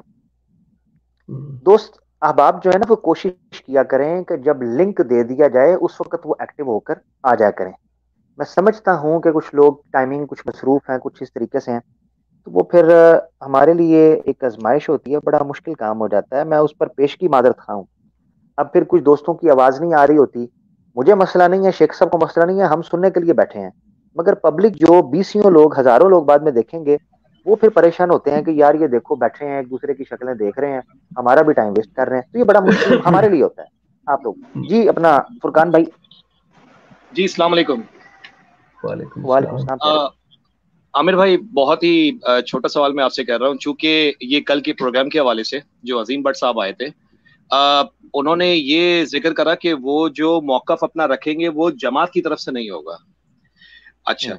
तो पूछना आपसे ये था आमिर भाई कि पास्ट में भी ये बात हुई है कि जो ये मौसू गुफ्तगु करते हैं आपसे भी लास्ट टाइम हम्म। इनकी जो है वो डिबेट वगैरह कुछ हो चुकी है तो बाद में जो ये वीडियोस बनाते हैं उसको ये जमात का एक तरह से मौकफ ही पेश कर रहे होते हैं हम्म। तो यहाँ पर क्या वो इस चीज़ में तजाद नहीं कर रहे एक तरफ़ वो कह रहे हैं कि जी मैं इनकी तरफ़ से नहीं हूँ फिर उसको बाद में वीडियो की सूरत में बनाकर जमात के मौकफ को एक तरह से पेश किया जाता है इसको जरा देख लीजिए प्लीज़ हम्म।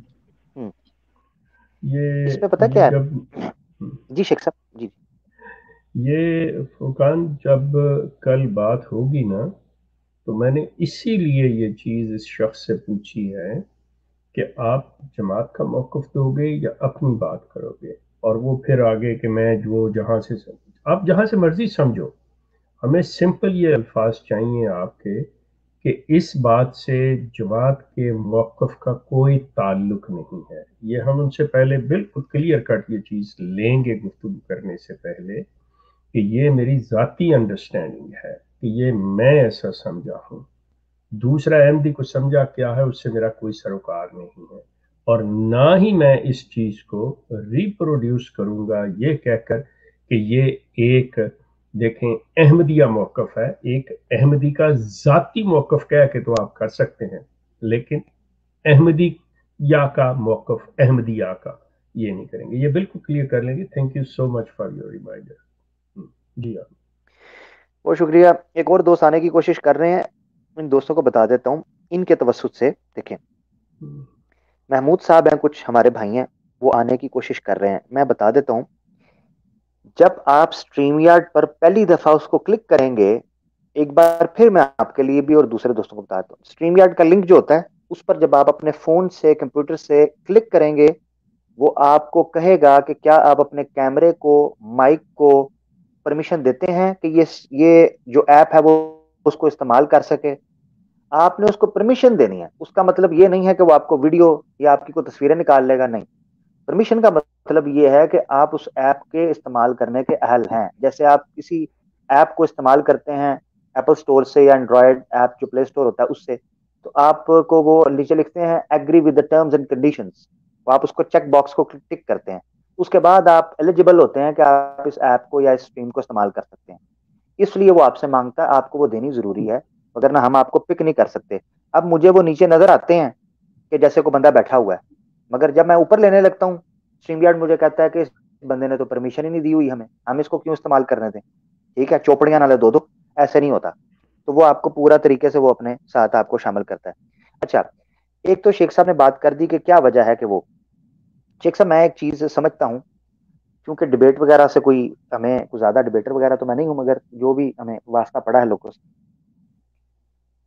ये जो अहमदी दोस्त डिबेटर होते हैं ना डिबेटर आम बंदा नहीं जैसे साइम भाई थे हमारे वो नहीं डिबेटर जो होते हैं ये क्या करते हैं? ये मनाजरे की इब्तदा में ना इनफरादी हैसियत में आते हैं। अगर तो शिकस्त हो जाए तो वो इनकी फर्द की शिकस्त है। हम्म। और मौकफ भी इनफरादी था। और अगर फतह हो जाए तो वो जमात की फतह है और मौकफ भी जमात का है। ठीक है ना जी? ये है ये है डबल स्टैंडर्ड ये है लैक ऑफ़ कॉन्फिडेंस ये है कॉम्प्लेक्स ये है एक इंफियोरिटी कॉम्प्लेक्स जिसे आप कहते हैं कि जब ये लोग सारी ज़िंदगी करते हैं, रहे हैं हम। सारी ज़िंदगी करते रहे हैं हम्म। के साथ। तो बहरहाल इसी बात के साथ शेख साहब के इख्तामी कलेमात लेते हैं। आज के प्रोग्राम साइन भाई के हवाले से जो सवाल आते हैं और उस सिलसिले को इंशाल्लाह जारी रखेंगे। शेख साहब के इख्तामी कलेमात और उसके बाद जाते हैं। जी शेख साहब जी अज़ीज़ दोस्तों सबसे पहले तो मैं साइम का शुक्रिया अदा करना चाहता हूँ कि जिसने मेरे नज़दीक ये एक बहुत बड़ी हिम्मत और ज़रूरत का काम था कि अपने आप को बिल्कुल ज़ाहिर करके और अपनी फैमिली को बिठा के ये बात की उन्होंने। मतलब मैं जितनी भी इनकी तारीफ़ करूँ कम है और ये हिम्मत, ताकत मैं चाहता हूँ कि दीगर अहमदियों के अंदर भी पैदा हो कि आप आए, आके बात करें और अगर आप समझते हैं कि जो हम कह रहे हैं वो नहीं, आप अपना मौकफ देना चाहते हैं यू आर फ्री टू से जिस तरह जमात कहती होती है ना कि जी हम वहाँ पे गए, हमने थोड़ी सी तबलीग की और अपना पैगाम पहुँचाया। आप बेशक अपना पैगाम देने के लिए आए। You should come over here and talk क्योंकि जब उसके जवाब में हम आपको कोई बात बताएँगे तो शायद हमारी कोई एक बात आपके कान में पड़ जाए और आप सोचने पर मजबूर हो जाए। हमारा मकसद सिर्फ़ और सिर्फ़ ये है कि आँखें बंद करके किसी को ना माने, आँखें बंद करके किसी के पीछे ना चले। ये हैवानी रवश है, कुरान इसको हैवानी रवश कहता है। अल्लाह ताला कहता है कि हमने तुमको शौर दिया, जहन दिया, सोच समझ दिया, तदब्बर और तफक्र करो और गौर किया करो। तो हम जो हैं, आपको सिर्फ़ इस तरफ़ कहते हैं कि मिर्ज़ा साहब की किताबें जो हैं, उनको ज़रूर पढ़ें। बल्कि लाजम पढ़ें और फिर उस पर गौर करें, सोचें। जैसे मैंने साइम साहब को ये दिया उसी वॉल्यूम टेन से कि आप इन सफ़ात पे चले जाएँ और जाके देखें कि एक तरफ़ मिर्ज़ा साहब कह रहे हैं कि जी मैं मतलब ये नहीं कह रहा कि बाबा साहब हैं और दूसरी तरफ़ बड़ा खोल के कह रहे हैं कि गुरु नानक जो है वो मुसलमान। मतलब ये जो चीज़ें हैं, जब आप अपने शौर को, अपनी आँखों को इस्तेमाल करते हुए, हाजिर दिमागी से पढ़ेंगे तो यकीन कीजिए कि जो सच है जो हक है जो सच्चाई है आप पे वाजे हो जाएगी। कोई ज़रूरत नहीं मुझे ये कहने की कि मिर्ज़ा साहब झूठे हैं गलत हैं। आप खुद इस नतीजे पर पहुँच जाएँगे। सो so, इस चीज़ को मद्देनजर रखते हुए the Ahmadis are most welcome specially the young generation if you have any question regarding the Ahmadiyyat regarding Mirza Ghulam Ahmad आपके जहनों में को बात आती है कि ये चीज़ है। जहाँ तक ताल्लुक है कि जी मुसलमान बैठे हुए या ये जो सोशल मीडिया के जो मौलवियान साहबान हैं, ये देखें, हमें ये कहते हैं these are the individuals to be honest they are not representing the Islam they are not representing the Muslim Umma they are representing them ये उनकी अपनी ज़ाती पर्सनैलिटी के अंदर है। सेम यही चीज़ है कि what we have understood the Islam that we are giving the message उसके लिए आपको काम करना ये पड़ेगा then you have to study that one कि ये शख्स जो बात कह रहा है does it make sense is this is that match with the Quran so आपको ये फिर काम करना पड़ेगा। सो so, इसलिए ले ना तो कोई जिम्मेदार है कि मौलवी क्या कह रहा है और अगर वो कोई गलत बात कर रहे हैं to be honest with you तो वो गलत कर रहे हैं। हम उसको कंडेम करेंगे कि कोई चीज़ क्योंकि इस्लाम के अंदर नेगेटिविटी नहीं है। इस्लाम के अंदर जो है, अब वो सवाए पेशेंस के, सवाए हम्बलनेस के, सवाए पीस के और कोई चीज़ नहीं है। और जो भी कोई इसके मुखालिफ बात करता है they are not talking about Islam they are talking about some their own vendetta and their agenda thank you so much अल्लाह हाफिज। यू वेलकम शेख साहब जजाकल्ला नाजरीन, आपने सुना शेख साहब ने? आपको ओपन दावत दी है, आप आकर सवाल कर सकते हैं। मेरे ख्याल से मजीद इस पर मुझे कुछ कहना नहीं है। पहले ही वक्त बहुत ज़्यादा हो गया है। अपना दोस्तों का ख्याल रखें, फिरकों से दूर रहें, कुरान सुन्ना के साथ जुड़ जाएँ, तहकीक का तालब इलम बने, हक की तलाश में निकलें, बुगज, हसद और प्री डिटर्मिन किस्म के जो आपने अकायद रखे हैं, उनको धोएँ। शेख साहब ने बड़ी प्यारी आज बात की, ला यमस्सहु इल्लल मुतहरून से, कि कुरान को नहीं छूते किताब को नहीं छूते, मगर मुताहिर लोग इससे मुराद वज़ू बाजुकात लोग लेते हैं, मगर इससे हकीकी मानों के अंदर मुराद वो तहारत है, जो आपके जहनी तहारत है, आपके जिसम की तहारत है। तहारत हासिल करके, जहनों को साफ़ करके, तालीम हासिल करें। फीमान अस्सलाम मिलते हैं कल उस डिबेट में जो तय पाई है आठ बजे। भूलिए मत। अल्लाह हाफ़